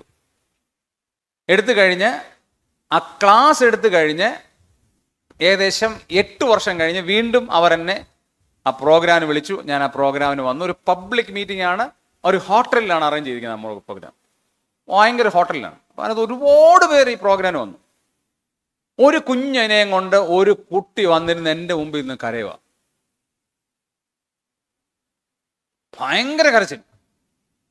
ഞാൻ പറഞ്ഞു മോളെ കരയാതെ എന്താ? എനിക്ക് അങ്കിളിനോട് കുറെ കാര്യങ്ങൾ വേണം പറയാനുണ്ടെന്ന് ഞാൻ പറഞ്ഞു പറയാം പറഞ്ഞോളൂ. അല്ല എനിക്ക് പേഴ്സണലിയാ പറയാനുള്ളത്. ശരി. ആ ഹോട്ടലിൽ പ്രസംഗപീഠം ഇങ്ങനെ ഇതുപോലെ ഉണ്ട്. അതിന്റെ സൈഡിൽ ഒരു ചെറിയൊരു ഹാളുണ്ട്. ചെറിയൊരു എന്താണ് ഒരു ക്യാബിൻ പോലുണ്ട്. അടുത്തൊരു ഗ്ലാസ് ഒക്കെ ഉള്ള ക്യാബിനാണ്. അപ്പം എന്നോട് പറഞ്ഞ് ആ മോൾ പറഞ്ഞ് എനിക്ക് അവിടെ ഇരുന്ന് അങ്കിളിനോട് പറയണം. ഞാൻ പറഞ്ഞു ആ ക്യാബിന് ഗ്ലാസ് ഉള്ളതാണെങ്കിലും ഞങ്ങൾ രണ്ടും ഇരിക്കുന്നത് കുറച്ച് പേർക്കേ കാണത്തുള്ളൂ. അപ്പം ഞാൻ പറഞ്ഞു പ്രായമുള്ള ഒരാളെ കൂടെ വിളിച്ചുകൊണ്ട് വന്നാൽ ഞാൻ അവിടെ ഇരിക്കാം. അതിന് താങ്കളെ ഞാനല്ലേ? അതൊക്കെ ശരിയാണ് കാര്യമൊക്കെ ശരിയാണ്. പ്രായമുള്ള ഒരാളിനെ കൂടെ മോൾ വിളിച്ചുകൊണ്ട് പോവാ എന്നിട്ട് നമുക്ക് അവിടെ സംസാരിക്കാം. അപ്പോൾ അവിടുത്തെ പ്രായമുള്ള സീനിയറായ ഒരാളിനെ കൂടെ അവിടെ വിളിച്ചുകൊണ്ട് വന്നു. ഞങ്ങൾ മൂന്ന് പേരും കൂടെ അവിടെ ഇരിക്കുകയാണ്. ആ അമ്മച്ചി എന്റെ അപ്പുറത്ത് കേൾക്കത്തില്ല ഞങ്ങൾ പറയുന്നത് കേൾക്കത്തില്ല പക്ഷെ ഞങ്ങളെ കാണാം. ഇതുപോലെ അത്ര ആ മോൾ ഇരിക്കുന്ന അത്രയും ദൂരത്തിൽ ഇരിക്കുന്നു ഞങ്ങൾ ഇവിടെ നിന്ന് സംസാരിച്ചുകൊണ്ടിരിക്കുക. അങ്കിളെ അങ്കിൾ പറഞ്ഞത് കേട്ടായിരുന്നെങ്കിൽ എനിക്ക് ഈ ഗതി വരികയില്ലായിരുന്നു. ഞാൻ ചെന്ത മോനെ ഈ കുഞ്ഞിപ്പോൾ എനിക്കൊരു ബാധ്യതയാണ്. ഞാൻ ഈ പറയുന്നത് നിങ്ങൾ ആരോടും ഷെയർ ചെയ്യണ്ട. ഞാൻ നിങ്ങൾക്ക് അറിയാവുന്ന ആളായിരിക്കാം. ആ കുടുംബത്തിൽ നിന്ന് ഒരു മോൾ ഇറങ്ങിപ്പോയി. ഒരു ചെറുപ്പക്കാരൻ എപ്പോഴും ബൈക്കുമായിട്ട് വരുമായിരുന്നു. ഒരു പ്രാവശ്യം ബൈക്കുമായിട്ട് വരും അടുത്ത പ്രാവശ്യം വേറൊരു ബൈക്കുമായിട്ട് വരും അടുത്ത പ്രാവശ്യം വേറൊരു ബൈക്കുമായിട്ട് വരും അടുത്ത പ്രാവശ്യം കാറുമായിട്ട് വരും. ഒടുവിൽ ഇവർ വിചാരിച്ചു നല്ല സൂപ്പർ ആളാണ്. ഓരോ ദിവസം ഓരോ കാറിൽ വരുന്നു. ഓരോ ദിവസം ഓരോ മൊബൈൽ ബൈക്കിന് വരുന്നു. ഓരോ ദിവസം ഓരോ സിസ്റ്റത്തിൽ വരുന്നു. ഇവൻ നല്ല പയ്യനാണ്. ഓടി കല്യാണം കഴിച്ചു. കല്യാണം കഴിച്ചത് സമ്മതിച്ചില്ല. വീട്ടിൽ നിന്ന് ഇറങ്ങിപ്പോയി. ഒരു സുപ്രഭാതത്തിൽ അപ്പനെ അമ്മയും എല്ലാം തൃണവൽക്കിച്ച് ഇറങ്ങിപ്പോയി. ഇറങ്ങിച്ചെന്ന് വീട്ടിൽ ചെന്നപ്പോഴാണ് മനസ്സിലാകുന്നത് അദ്ദേഹം അന്യജാതിയിൽപ്പെട്ട ഒരാളാണ്. ആ അദ്ദേഹത്തിന്റെ ജാതി പോലും പുറത്ത് പറയാൻ പറ്റത്തില്ല. ഉടനെ തന്നെ ഇവക്ക് തിരിച്ചു വരാൻ പറ്റത്തില്ല. കാരണം അപ്പനെ അമ്മയും അതുപോലെ വെറുത്തിട്ട് ഇറങ്ങിപ്പോയി. തിരിച്ചു കയറി വരാൻ പറ്റത്തില്ല. ഇവൾ രക്ഷിക്കപ്പെട്ട ദൈവത്തിലാണ് ആത്മഹത്യ ചെയ്യാൻ പറ്റത്തില്ല. പിന്നെ ജീവിക്കുക രക്ഷയുള്ളൂ. ബാക്കി കഥ ഞാൻ പറയുന്നില്ല. പറഞ്ഞത് പക്ഷേ നിങ്ങൾ ആളിനെ പിടിക്കും. അതുകൊണ്ട് ബാക്കി ഞാൻ പറയുന്നില്ല. ആ കുഞ്ഞിന്റെ ലൈഫ് സ്പോയിലായി എന്താണ് ഈ ലവ് മാരേജിനെ ഇത്ര നമ്മൾ എതിർക്കുന്നതിന്റെ കാരണം? ഞാൻ ലവ് മാരേജിന് നേരെ എതിരാണ്. ലവ് മാരേജ് എന്ന് ഞാൻ പറഞ്ഞതിന്റെ അർത്ഥം കൂടെ ഞാൻ പറയാം. ഞാൻ ലവ് മാരേജിനെ അനുകൂലിക്കുന്ന ആളാണ് പക്ഷെ നിങ്ങൾ പറയുന്ന ലവ് മാരേജിനെ ഞാൻ എതിർക്കുന്നു. നിങ്ങൾ പറയുന്ന ലവ് മാരേജ് എന്താ വെച്ചാൽ ഒരാളെ കാണുന്നു. മോളെ പേരെന്താ? നവ്യ. ഓക്കെ നവ്യ ഒരു ഒരാളിനെ കാണുന്നു. ഏ നവ്യ ഇനി പറഞ്ഞ ഇനി പ്രശ്നമാണ് എന്റെ മോളെ പറയാം. ഫേബ ഒരാളെ കാണുന്നു. ഫേബ ഒരാളെ കണ്ടു. ഇങ്ങനെ കണ്ടു ഇഷ്ടപ്പെട്ടു. കുറേ നാൾ ഇങ്ങനെ ഇഷ്ടപ്പെട്ടു. മനസ്സൊക്കെ ഷെയർ ചെയ്തു. ഇങ്ങനെ വർത്തമാനമൊക്കെ പറഞ്ഞു. കൊള്ളാം. നല്ല ആളാണ്. ഒരു സി വീട്ടിൽ നിന്ന് പറയാണ് അപ്പം എനിക്കൊരാളെ ഇഷ്ടമാണ് കേട്ടോ. ആരെയാ ഇന്ന ആളിനെ. എടാ അത് നമുക്ക് ഒരു നമുക്ക് പറ്റത്തില്ലല്ലോ. അതൊന്നും പറഞ്ഞിട്ട് കാര്യമില്ല. എനിക്ക് ഞാൻ ആളെ ആളെങ്കിൽ ഇഷ്ടപ്പെട്ടു എനിക്ക് അയാളെ കല്യാണം കഴിച്ചേ പറ്റുള്ളൂ. സെലക്ഷൻ ആരുടെ ആയിരുന്നു ഫേബയുടെ. ലവ് സ്റ്റാർട്ട് ചെയ്തത് ആർക്കാണ്? ഫേബയ്ക്കും അവനും. ആരോ? അവന്. ഈ പ്രേമമാണ് ബൈബിൾ എതിർക്കുന്ന പ്രേമം. ബൈബിൾ എതിർക്കുന്ന പ്രേമം ഇതാണ്. എന്താണ് കാരണം? ഒരാളിങ്ങനെയാണ് എഴുതിയിരിക്കുന്നത്. അറേഞ്ച്ഡ് മാരേജിനെ ഞാൻ എതിർക്കുന്നു. ലവ് മാരേജിനെ ഞാൻ എതിർക്കുന്നു. രണ്ടാമത്തെ കാര്യം അറേഞ്ച്ഡ് മാരേജിനെ ഞാൻ എന്ത് ചെയ്യുന്നു? എതിർക്കുന്നു. എന്നാ അറേഞ്ച് മാരേജ് അറേഞ്ച്ഡ് മാരേജ് എന്ന് പറഞ്ഞാൽ പെണ്ണിന്റെയും ചെറുക്കന്റെയും കൺസെന്റ് ഇല്ലാതുള്ള അറേഞ്ച്ഡ് മാരേജിന്റെ കാര്യം ഞാൻ പറയുന്നത് പെണ്ണിനോട് ഒരു വാക്ക് ചോദിക്കാൻ അപ്പം പറയുന്ന "കേ- കേട്ടോ മതി കേട്ടോ. മിണ്ടിപ്പോയരുത്. അവനെ പോയി കിട്ടിക്കോണം. അങ്ങനെയുള്ള അറേഞ്ച്ഡ് മാരേജ് ദൈവവചനപ്രകാരം ശരിയല്ല. ഞാനതിനെ പ്രൂവ് ചെയ്തു തരാം. നിങ്ങൾക്ക് പ്രൂവ് ചെയ്തു തരാം. ഓരോ ചിന്തകൻ ഇങ്ങനെ എഴുതിയിരിക്കുകയാണ് ലവ് മാരേജ് എന്താണ്? ലവ് മാരേജും അറേഞ്ച് മാരേജും തമ്മിലുള്ള വ്യത്യാസം. ലവ് മാരേജ് എന്ന് പറഞ്ഞാൽ രണ്ടുപേരും കൂടെ പോയി ഒരു കണ്ണി ചാടുന്നു. അറേഞ്ച്ഡ് മാരേജ് എന്ന് പറഞ്ഞാൽ ഒരുപാട് പേർ ചേർന്ന് ഒരു പെണ്ണിനും ചെറുക്കനെയും കുഴി കിണറ്റിനകത്ത് കൊണ്ട് ഇടുന്നു. ദാറ്റ്സ് ഓൾ ഇതാണ് ലവ് മാരേജും അറേഞ്ച് മാരേജും പറഞ്ഞ മനസ്സിലായോ? ലവ് മാരേജ് എന്ന് പറഞ്ഞാൽ അവന്റെ ഇഷ്ടത്തിന് അവൻ പോകുന്നു അവരുടെ ഇഷ്ടത്തിന് അവൻ പോകുന്നു. അറേഞ്ച് മാരേജ് എന്ന് പറഞ്ഞാൽ രണ്ട് കൂട്ടരും കൂടെ നിർബന്ധിച്ച് ഒരാളെ എന്ത് ചെയ്യും? ഇത് രണ്ടും തെറ്റാണ്. ഇത് രണ്ടും തെറ്റാന്ന് പറയാം. കാരണം ദൈവഹിതപ്രകാരമുള്ള ഒരു മാരേജ് ഏതാണോ അതാണ് യഥാർത്ഥമായി ഞാൻ പറയാൻ പോകുന്ന കാര്യം. അയ്യോ അതെങ്ങനെ അങ്കിൾ നടക്കുന്നത്? ആ കേട്ടുള്ളൂ എങ്ങനെയാണ് അത് നടക്കുന്നത്? ഞാൻ ഞങ്ങളുടെ ചർച്ചിലുള്ള യൂത്തിനോട് വളരെ ഓപ്പണായിട്ട് സംസാരിക്കുന്ന ഒരാളാണ്. ഞങ്ങളുടെ ചർച്ചിലുള്ള യൂത്ത് കല്യാണം കഴിക്കാനുള്ള കുറേ പേരുണ്ട്. അവരോട് ഭയങ്കര ഫ്രണ്ട്ഷിപ്പാണ് ഭയങ്കര ക്ലോസ് ആണ് ഞാൻ അവരോട്. അവരുടെ ഏത് കാര്യം എന്നോട് ഷെയർ ചെയ്യും. ഞാൻ ഒരു പെണ്ണിനെ കണ്ടെങ്കിൽ എനിക്ക് അവളെ ഇഷ്ടമായി ഒരു മുസ്ലിമാണ് എനിക്ക് അവളെ ഇഷ്ടമായി ഞാൻ അവളെ അങ്ങ് കെട്ടിക്കോട്ടെ എന്ന് ഒരുത്തൻ എന്നോട് ചോദിച്ചു. ഞാൻ പറഞ്ഞത് "അത് നല്ല കാര്യം. കാരണം എന്നാ? നല്ല കാര്യമാടാ. അതിനാ അയ്യോ ഒരാത്മാവിനെ രക്ഷിക്കുന്ന പറഞ്ഞ ചെറിയ കാര്യമാണോ അങ്കിളെ? എന്നോട് പറയാ. ഞാൻ പറയും നല്ല കാര്യമാടാ എപ്പോഴാ കല്യാണത്തിനുള്ള പ്രപ്പോസ് ചെയ്യുന്നേ? അപ്പൊ ഇവൻ ഇങ്ങനെ അങ്ങ് നോക്കി ഈ അങ്കിൾ എന്താ ഈ പറയുന്നത് ഞമ്മടെ നല്ല കാര്യമാടാ എപ്പോഴാ നീ അതിനകത്ത് മുമ്പോട്ട് പോന്നേ അങ്കിളെ ചുമ്മാ കളിയാക്കാതെ. ഞമ്മടെ കളിയാക്കല്ല നീ എപ്പോഴാ കല്യാണം കഴിക്കുന്നതെന്ന് പറ. സഭയായിട്ട് ഞങ്ങൾ ആലോചിക്കാൻ വേണ്ടിയാ. അല്ല സഭയായിട്ടൊന്നും ആലോചിക്കാൻ പറ്റത്തില്ല അത്. അതിനാ സഭയായിട്ട് ആലോചിച്ചാ എന്നാടാ? അല്ല സഭയായിട്ട് എങ്ങനെ അങ്ങൾ ഞാൻ ഈ മുസ്ലിമിനെ കല്യാണം കഴിച്ച് സഭയായിട്ട് എങ്ങനെ ആലോചിക്കുന്നത് അത് പറ്റത്തില്ല അല്ലേ അത് പറ്റത്തില്ല. പിന്നെ എങ്ങനെ ചെയ്യാൻ പറ്റും? അപ്പൊ ഞാൻ പ്രസംഗിക്കണ്ടേ? അയ്യോ എന്തോ അങ്കിളി പറയുന്നത്? അങ്ങനെ പ്രസംഗിക്കാൻ വല്ലതും പറ്റുമോ ഓക്കെ അത് പറ്റത്തില്ല അല്ലേ അപ്പൊ എന്ത് ചെയ്യും? വിളിച്ചോണ്ട് വരണം ആ. അപ്പൊ എപ്പോഴാണ് നീ വിളിച്ചോണ്ട് വരുന്നേ? അപ്പൊ അവന് തന്നെ മനസ്സിലായി ഞാൻ ചെയ്യുന്നത്. ഏ? ശരിയല്ല. ഞാൻ ഒന്നും ചോദിച്ചില്ല. ഞാൻ റെഡി നമുക്ക് റെഡി എപ്പോഴാന്ന് പറഞ്ഞാൽ മതി. എന്നിട്ട് ഞാൻ അവനോട് ഒരു വാചകം മാത്രമേ കൂടുതലായിട്ട് പറഞ്ഞുള്ളൂ ക്രൂരമായിട്ട് പറഞ്ഞുള്ളൂ. കർത്താവിനില്ലാത്ത ആത്മഭാരം നിനക്ക് വേണ്ട എന്ന് പറഞ്ഞു. കർത്താവിനില്ലാത്ത ആത്മാക്കളെ കുറിച്ചുള്ള ഭാരം നിനക്ക് വേണ്ട എന്ന് പറഞ്ഞു. ഒരാളെ അങ്ങനെ രക്ഷിക്കപ്പെടുത്തിക്കൊണ്ട് ആരും വരണ്ട കേട്ടോ? ആ നമ്മുടെ സഭയിലോട്ട് വേണ്ട. ഒരു ഒരാത്മാവ് അങ്ങളെ ആ ലോകത്തെക്കാളും വിലയുള്ളത് വേണ്ട അങ്ങനെ കെട്ടിക്കൊണ്ട് വന്ന ലോകത്തെക്കാളും വിലയുള്ള ആത്മാവിനെ ഒന്നും കൊണ്ടുവരണ്ട. പൊറിഞ്ചതാ അർത്ഥായിത്താ മനസ്സിലായോ? അണ്ടർസ്റ്റുഡ് മനസ്സിലായോ? അപ്പം നമ്മൾ പറയാൻ പോകുന്ന എന്താ അറിയാമോ ഇതാണ് പ്രേമം എന്ന് പറഞ്ഞാൽ എന്താണ് പ്രേമം എന്ന് പറഞ്ഞാൽ ആദ്യം ഉടലെടുക്കും പിന്നീട് അത് മുതലെടുക്കും നാട്ടുകാർ ചേർന്ന് മടലെടുക്കും വീട്ടുകാർ ചേർന്ന് കുഴിയെടുക്കും. ദാറ്റ്സ് ഓൾ പ്രേമം ഇത്രയേ ഉള്ളൂ. അത് മാത്രമല്ല പ്രേമം ഒരു തേങ്ങ വെള്ളം തേങ്ങയുടെ കൂട്ടാണ്. എന്താ അറിയാമോ പ്രേമം തേങ്ങയാണ്. അതിന് വെള്ളം കുടിക്കാൻ നല്ലതാണ് കറികൾ ചേർത്ത നല്ല രുചിയാണ് പക്ഷെ തല വീണ ജീവിതം പോയി.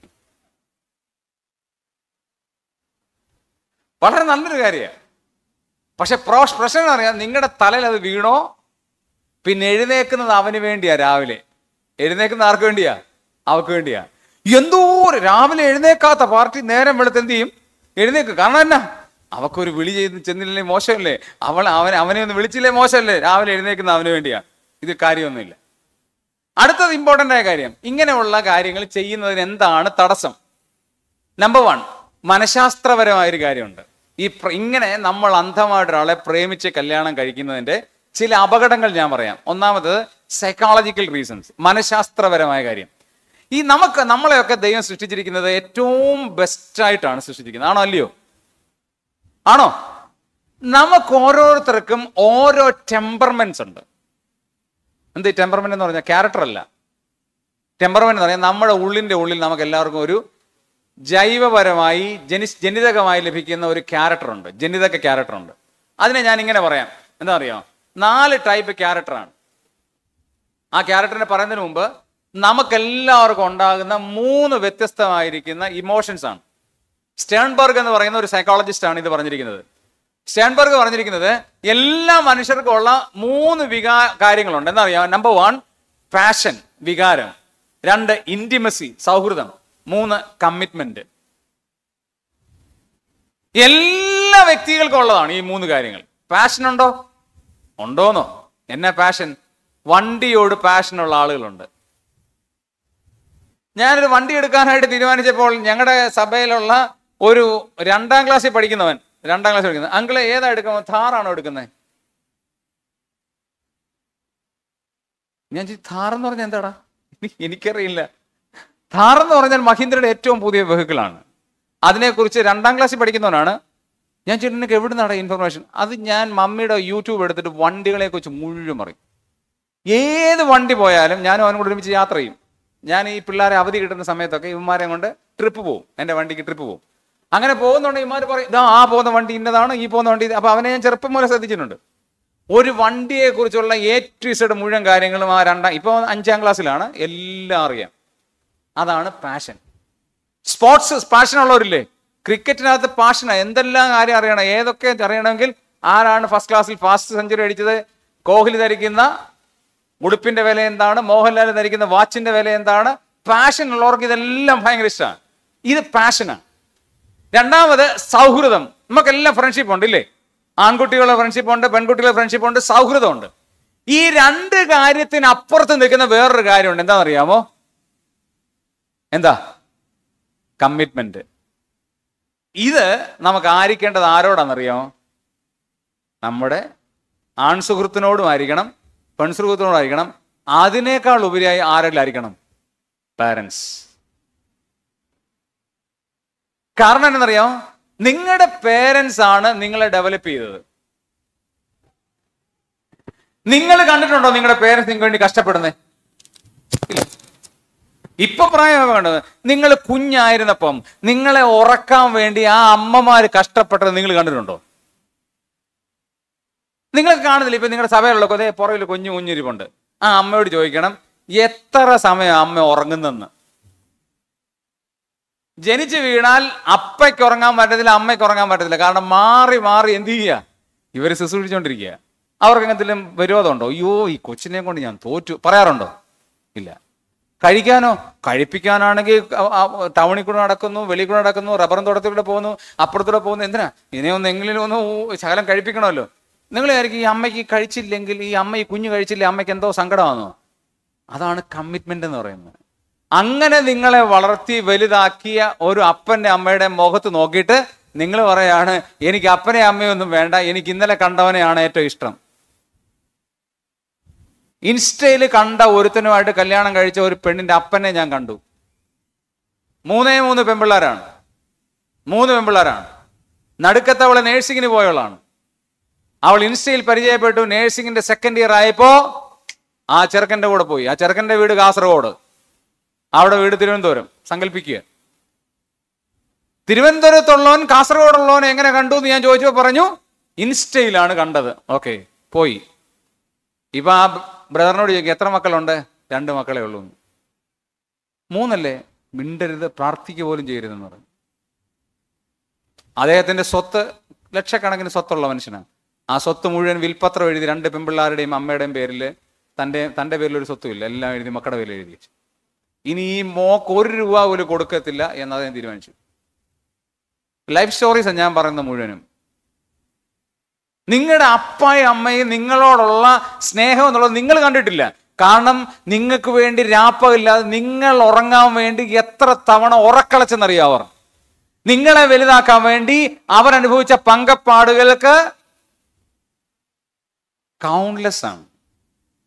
എന്നിട്ട് നിങ്ങൾ എന്ത് ഒരു സുപ്രാതി പറയണം എനിക്ക് എന്റെ അമ്മയല്ല വലിയ കാര്യം അപ്പയല്ല വലിയ കാര്യം പിന്നെ ആരെയാ അവനെയാണ് അവളെയാണ്. സഹിക്കുമോ അവരുടെ സ്ഥാനത്ത് നിങ്ങൾ നിങ്ങളായിരുന്നെങ്കിൽ എന്ത്? നിങ്ങളുടെ മക്കൾ നിങ്ങളോട് അങ്ങനെ ചെയ്താലോ? വെട്ടിക്കീറി ഞാൻ കൊല്ലുമെന്ന് എന്നോട് ഒരാൾ പറഞ്ഞു. എന്റെ മോൾ അങ്ങനെ പോയാൽ. അപ്പൊ നിങ്ങൾക്ക് പോകാമോ? ഈ കമ്മിറ്റ്മെന്റ് ആണ് ഏറ്റവും പ്രാധാന്യം ഓർക്കണം. സെക്കൻഡ് റീസൺ മെന്റൽ റീസൺസ് ആണ് മാനസിക കാരണങ്ങൾ. ഇവിടെയാണ് നാല് ടൈപ്പ് മെന്റൽ റീസൺസിന് ഞാൻ പോയിന്റിലേക്ക് വരുന്നുണ്ട്. ഒറ്റ മിനിറ്റ് ഒരു ഡിസ്പ്ലേ ഒരു വിഷ്വൽ ഞാനൊന്ന് നോക്കിക്കോട്ടെ. മാനസികമായി ഓക്കെ ഡിസ്പ്ലേ ചെയ്തു. മാനസികമായി നമ്മൾ ഭയങ്കര ഡിഫറെന്റ് ആണ്. കാരണം എന്റെ സെയിം മെന്റാലിറ്റി അല്ല എന്റെ മോനുള്ളത് എന്റെ മോക്കുള്ളത്. എന്റെ മോന് അവൻ ഭയങ്കര ഒരു എക്സ്ക്ലൂസീവ് ടൈപ്പാണ് എന്ന് പറഞ്ഞാൽ രാവിലെ എഴുന്നേറ്റാൽ ഉടനെ അവന്റെ ബെഡ് അത് നല്ല വടി ഒത്തവണ്ണം കിടക്കണം. നല്ല ഡീസന്റ് എന്ന് പറഞ്ഞാൽ അതിനകത്തൊരു ചുളുക്ക് പോലും കാണൂല അത്രയ്ക്ക് ഡീസന്റ് ആണ്. നമ്മൾ പുതപ്പ് മടക്കുമ്പോൾ നമ്മൾ പുതച്ച പുതപ്പ് മടക്കുമ്പോൾ നമ്മൾ സാറില്ല അറ്റോ ഇച്ചിരി അങ്ങോട്ട് ഇടാൻ കുഴപ്പമില്ലല്ലോ നമുക്ക്? ഞാനൊക്കെ കുഴപ്പമില്ല. അറ്റോ ഇച്ചിരി കുഴപ്പമില്ല. നോനോ നോ പുള്ളി അങ്ങനല്ല.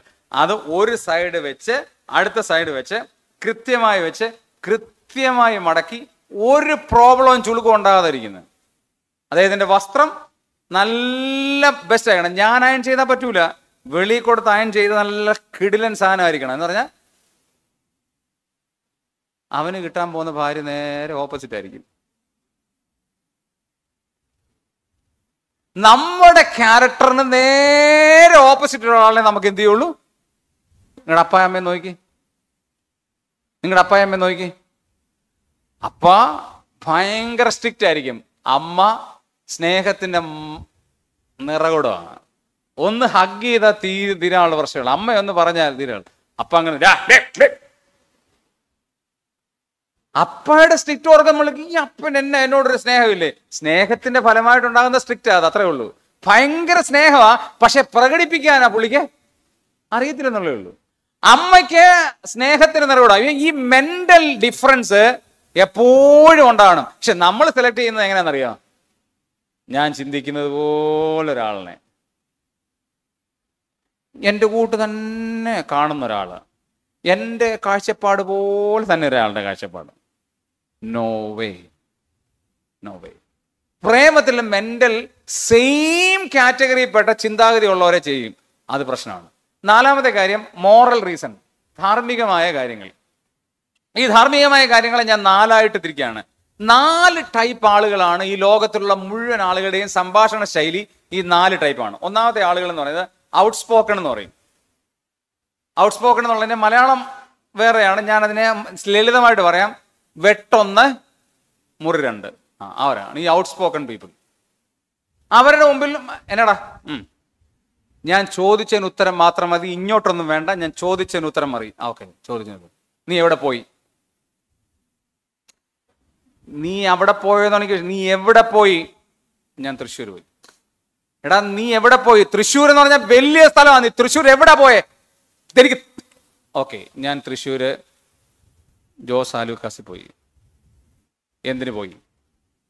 മനസ്സിലായി? ഔട്ട് സ്പോക്കൺ പീപ്പിൾ വെട്ടൊന്ന് മുറി രണ്ട്. രണ്ടാമത് കോയറ്റ് റിസർവ്ഡ് പീപ്പിൾ അവരെന്ന് പറഞ്ഞാൽ പല്ല് തേക്കണമെങ്കിൽ ഒരു മണിക്കൂർ കുളിക്കണമെങ്കിൽ രണ്ട് മണിക്കൂർ റെഡിയായി വരണമെങ്കിൽ മൂന്ന് മണിക്കൂർ. പേരെന്താ മോന്റെ മോടെ പേരെന്തുവാ? ഈ എന്റെ പേര് റെജി എടാ ഒന്ന് സ്പീഡിൽ പറ പറയത്തില്ല. ഇവരാണ് ക്വയറ്റ് ആൻഡ് റിസർവ്ഡ് പീപ്പിൾ. നാലാമത് അനലിറ്റിക്കൽ പീപ്പിൾ അനലിറ്റിക്കൽ പീപ്പിൾ. അവരെന്ന് പറഞ്ഞാൽ സ്വിച്ച് ഇടുന്ന ഇവിടെ. ഫാൻ കറങ്ങുന്നത് അവിടെയാണ് അവർ ചിന്തിക്കും ഈ സ്വിച്ച് ഇടുമ്പോഴേ ചിന്തിക്കും എന്താണ് അവൾ പറയാൻ പോകുന്നത്. ആലോചിച്ച് ചിന്തിച്ച് ഈ പറഞ്ഞാൽ എന്ത് ഉത്തരം എനിക്ക് വരും എന്ന് ചിന്തിച്ചിട്ട് മാത്രമേ പറയുന്ന മൂന്നാമത്തെ ടൈപ്പ് ആളുകൾ. നാലാമത്തെ ടൈപ്പ് ആളുകൾ ഫ്രണ്ട്ലി പുള്ളിക്കാരന് ഫ്രണ്ട്സിന് ഒരു കുറവുമില്ല. അതുവഴി ആര് പോയാലും പുള്ളി മിണ്ടും. കമ്പയിലൊന്ന് തുണി ചുറ്റി ഒരാൾ അപ്പുറത്തൂടെ പോയാൽ പുള്ളിക്കാരി ആ ആളിനോട് സംസാരിക്കാതിരിക്കത്തില്ല. എന്താ പേര്? എവിടെ പോയി? എങ്ങനായി? ഏത് കാര്യവും പുള്ളിക്കാരി ചോദിക്കും. എന്റെ ഭാര്യയുടെ കാര്യം ഞാൻ പറഞ്ഞു. പുള്ളിക്കാരി ഫ്രണ്ട്ലിയാണ് ഞാനെന്ന് പറഞ്ഞാൽ റിസർവ്ഡ് ആളാണ്. എന്ന് വെച്ചാൽ അനലിറ്റിക്കലായ ആളാണ്. ഭയങ്കര അനലിറ്റിക്കൽ ആളാണ്. ഞാനും ഫ്രണ്ട്ലി ആയി പുള്ളിക്കാരി ഫ്രണ്ട്ലി ആയാൽ എന്ത് സംഭവിച്ചേനെ? വീട്ടിൽ അടിയായ ബഹളമായ കാരണം രണ്ടുപേരും വീട്ടിൽ വന്ന പ്രശ്നമാണ്. സെയിം ക്യാരക്ടർ ടെമ്പർമെന്റ് ഉള്ള ആളുകൾ തമ്മിൽ കല്യാണം കഴിച്ചാൽ എന്ത് സംഭവിക്കുന്ന അറിയോ രണ്ട് അൺലെ രണ്ട് ഔട്ട് സ്പോക്കൺ പീപ്പിൾ തമ്മിൽ കല്യാണം കഴിച്ചായിരുന്നല്ലോ. എന്താ അവസ്ഥ എന്ന് ഓർത്തേക്ക് ഈ പ്രേമത്തിനാണ് നടക്കുന്നത് ഇതാ സംഭവിക്കുന്നത് രണ്ടുപേരും സെയിം കാറ്റഗറിയിൽ പെട്ടവരാണ് അവർ തമ്മിൽ എന്നും അടിയേ ഉള്ളൂ. അതാ പറയും ഈ പ്രേമിക്കുമ്പോ ഇങ്ങനെയാണെങ്കിൽ നീ കല്യാണം കഴിക്കുമ്പോ എങ്ങനെയാടാ നീ എന്നെ സഹിക്കാൻ പ്രേമിച്ചാൽ മതി.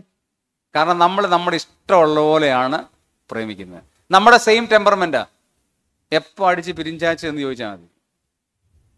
ദൈവം തരുമ്പോൾ നമ്മുടെ character mental character social character നമ്മുടെ ഇൻബോൺ ക്യാരക്ടർ എല്ലാം അറിഞ്ഞ ഒരാളെ എന്ത് ചെയ്യുള്ളൂ ദൈവം തരുള്ളൂ. നമ്മളെ സെലക്ട് ചെയ്യുമ്പോഴോ?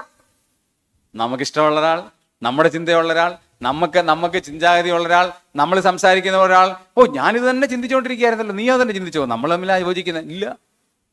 അങ്ങനെ വരില്ല. ഡിഫറെന്റ് ക്യാരക്ടർ ഉള്ളവരെ ദൈവം യോജിപ്പിക്കത്തുള്ളൂ. അടുത്തത് കുടുംബപരമായ കാര്യങ്ങൾ. നിങ്ങളുടെ ഫാമിലിക്ക് പറ്റിയ ഒരു ബന്ധമല്ല നിങ്ങൾക്ക് തന്നെ അറിയാം.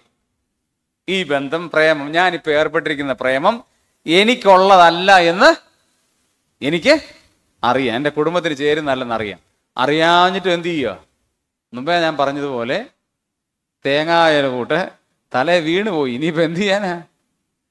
ഈ പ്രേമം എന്ന് പറയുന്ന യുദ്ധം പോലെ എന്നറിയോ തുടക്കാൻ വളരെ എളുപ്പമാണ് അവസാനിപ്പിക്കാൻ ഉക്രൈൻ റഷ്യയോട് ചെന്ന് ചോദിച്ചു നോക്കണം എങ്ങനെ ഉണ്ടെന്ന് ഇസ്രയേലിനോടും പാലസ്തീനോടും ചെന്ന് ചോദിക്കണം. തുടങ്ങി എളുപ്പമായിരുന്നു. തീർന്നു? ഇതേ കേട്ടക്ക ഇതുപോലെ പ്രേമം. അങ്ങ് പറ്റിപ്പോയി സാറേ. ഇനി എങ്ങനെ അതിനകത്തു നിന്ന് ഒന്ന് പുറത്ത് വരുന്നെന്ന് അറിയത്തില്ല. ആകെപ്പാടെ പ്രശ്ന. ആ ഇതന്നെ തന്നെ സംഭവം. കാരണം എന്നാ നമുക്കറിയാം എന്റെ കുടുംബത്തിന് യോജിക്കുന്ന ഒന്നല്ലെന്ന് എനിക്കറിയാം. പക്ഷെ എന്നാലും ഞാൻ എന്ത് ചെയ്യുക? ഈ കാര്യത്തിന് വേണ്ടി മുതിരുകയാണ്. അഞ്ചാമത് നമുക്ക് ചേരുന്ന ഒരു സാമൂഹ്യ ചുറ്റുപാടുള്ള ആളുകളല്ല അവർ. ജാതീയപരമായി അല്ലായിരിക്കാം മതപരമായി അല്ലായിരിക്കാം സമൂഹപരമായിട്ടല്ലായിരിക്കാം സാംസ്കാരികപരമായിട്ടല്ലായിരിക്കാം ഇതൊക്കെ നമുക്കറിയാം. നമുക്ക് ചേരുന്ന ഒരു കുടുംബം അല്ല എന്ന് നമുക്കറിയാം. സ്റ്റിൽ നമ്മൾ എന്ത് ചെയ്യാന്നറിയാമോ എനിക്ക് അവളെ മതി. എനിക്ക് അവനെ മതി. ഇത് വലിയ ഫെയിലിയറിലേക്ക് ചെയ്യും. അടുത്തത് ബയോളജിക്കൽ റീസൺ എന്താ പറയുക? ജീവശാസ്ത്രപരമായ കാര്യം. നമുക്ക് ജനറ്റിക്കലായിട്ട് ദൈവം നമ്മുടെ ഓരോ സ്മെല്ലുണ്ട് പുരുഷർക്കും പുരുഷന് സ്മെല്ലുണ്ട് സ്ത്രീക്കും സ്മെല്ലുണ്ട് ഉണ്ടോ ഇല്ലയോ? യെസ് ഉണ്ടില്ലേ? അതറിഞ്ഞ ഒരാളിനെയാണ് ദൈവം സെലക്ട് ചെയ്യുന്നത്. നമ്മളോ? ഒരു വിവാഹബന്ധം വേർപെടുത്താനായിട്ട് രണ്ടുപേര് തമ്മിൽ വന്നു. വന്നപ്പോൾ ഇതായിരുന്നു പ്രശ്നം. ഈ ആൾക്ക് ഭർത്താവ് കല്യാണം കഴിച്ച് കുറച്ച് കഴിഞ്ഞപ്പോഴാണ് അറിയുന്നത് ഭയങ്കര വായുനാറ്റമാണ്. എന്ത് ചെയ്തിട്ടും പോകുന്നില്ല. പക്ഷെ അതിന് ചെറിയൊരു ട്രീറ്റ്മെന്റേ ഉള്ളൂ. ആ ട്രീറ്റ്മെന്റ് ചെയ്തു. ഡൈജഷൻ പ്രോബ്ലം ആയിരുന്നു. ആ ഇതിനുള്ള ട്രീറ്റ്മെന്റ് ചെയ്ത് ഗ്യാസ്ട്രിയോളജി ഡോക്ടറെ കണ്ടപ്പോൾ ഇതിന് ആ പ്രോബ്ലം മാറി. ഇപ്പോൾ അവരുടെ പോലെ ഹാപ്പിയായിട്ട് ജീവിക്കുന്ന വേറെ ആരുമില്ല. വിവാഹമോചനത്തിന് വേണ്ടി എന്റെ അടുത്ത് വന്നാ. ഞാൻ പറഞ്ഞു ബാംഗ്ലൂരിൽ ഡോക്ടറുണ്ട്. ജസ്റ്റ് പോയി അദ്ദേഹത്തെ ഒന്ന് കാണും. എന്നിട്ട് നിങ്ങൾ എന്ത് എന്റെ അടുത്ത് വരാൻ പറഞ്ഞു. ഇപ്പോൾ അവർ എന്നെ കാണുമ്പോൾ ചിരിയെ. കാരണം എന്നാ? വിവാഹമോചനം വേർപെടുത്താൻ വന്ന രണ്ടുപേര് ഇപ്പൊ എന്നെ സന്തോഷമായിട്ട് ജീവിക്കുന്ന രണ്ട് മൂന്ന് മക്കളൊക്കെ ഉണ്ടായി. അവരിങ്ങനെ സന്തോഷിച്ച് കാണുമ്പോൾ എന്നെ കാണുമ്പോൾ ചിരിയെ. ഞാൻ ചെന്ന അല്ല പണ്ട് ഞാൻ അങ്കിളിന്റെ അടുത്ത് വന്ന കാര്യം ഇപ്പോഴും ഓർക്കുകയാണെന്ന്. നമ്മളെ ജനറ്റിക് പരമായി ദൈവം നമുക്കുള്ള സ്മെല്ല് നമുക്കുള്ള ആകാര കഴിവുകൾ നമുക്കുള്ള സെക്ഷുവൽ ഡിസേഴ്സ് ഇതൊക്കെ ആർക്കേ അറിയത്തുള്ളൂ? നമ്മളെ സൃഷ്ടിച്ച് ദൈവത്തിന് അറിയത്തുള്ളൂ. അതിന് അനുയോജ്യമായിരിക്കുന്ന ആളുകൾ പഴമക്കാർ പറയാറുണ്ട് ഒരു കാര്യം മരം അറിഞ്ഞേ കൊടിയിടാവൂ. കൊടി എന്ന് പറഞ്ഞാൽ ഇവിടെ അറിയാമല്ലോ ഇവിടെ കുരുമുളകിന് എന്താ പറയുന്നത് കൊടിയും തന്നെയാ ഞാൻ ഞാൻ തെക്കുള്ള ഇവിടെ ഉള്ള വ്യത്യാസമുണ്ട്. അപ്പൊ മരം അറിഞ്ഞേ കൊടിയിടാമെന്ന് പറഞ്ഞാൽ ഈ കൊടി കയറി പോകുന്ന മരം ആയിരിക്കണം. അതാണ് പഴമക്കാർ പറയുന്നത്. എന്ന് പറഞ്ഞാൽ ജിയോളജിക്കൽ നമ്മുടെ ജീവ ബയോളജിക്കലി ഫിറ്റായ ആളിനെ അല്ല പലപ്പോഴും നമ്മുടെ സെലക്ഷൻ വരുന്നത്. സെക്സ്വൽ റീസൺസ് അവരവരുടെ സെക്സ്വൽ ഡിസേഴ്സ് എന്റയർലി ഡിഫറെന്റ് ആണ്. ചിലർക്ക് സെക്സ് അഡിക്റ്റഡ് ആയിട്ടുള്ള ആളുകളുണ്ട്. ചിലർക്ക് അങ്ങനൊരു താല്പര്യമേ ഇല്ല. ആയാലായി എന്നുള്ളത് മാത്രമേ താല്പര്യമുള്ളൂ. അങ്ങനെയുള്ള ഈ ഡിഫറൻസ് ദൈവത്തിനെ അറിയത്തുള്ളൂ നമുക്ക് അറിയത്തില്ല അതുകൊണ്ട് അത് വലിയ പ്രശ്നത്തിലേക്ക് ആവിക്കും ഇനി വേദപുസ്തകപരമായ കാര്യം. ബൈബിളിൽ ഏതെങ്കിലും വിജയമായ ഒരു കല്യാണം ഉണ്ടോ ലവ് മാരേജ് ഉണ്ടോ? ഏതെങ്കിലും ഒന്ന് പറയാമോ? ബൈബിളിലുള്ള ലവ് മാരേജിനെ കുറിച്ചുള്ള ഞാൻ കണ്ടെത്തിയ ഏകദേശം ഏഴ് എട്ട് ലവ് മാരേജ് ഉണ്ട്. അവർ തന്നെ സെലക്ട് ചെയ്ത ലവ് മാരേജ് നിങ്ങളൊന്ന് പറഞ്ഞേ. നിങ്ങൾക്ക് ബൈബിളിൽ അറിയാവുന്നൊക്കെ കേട്ടെ. ഏതൊക്കെയാണ് ഒന്നാമത്തെ ലവ് മാരേജ് ബൈബിളിൽ ആദ്യത്തെ ലവ് മാരേജ് ഞാൻ ഇതിനെക്കുറിച്ച് റിസർച്ച് ചെയ്ത ഒരാളാണ് അതുകൊണ്ട് ഞാൻ ചെയ്യും ആദ്യത്തെ ലവ് മാരേജ് ആരാ ബൈബിളിലെ?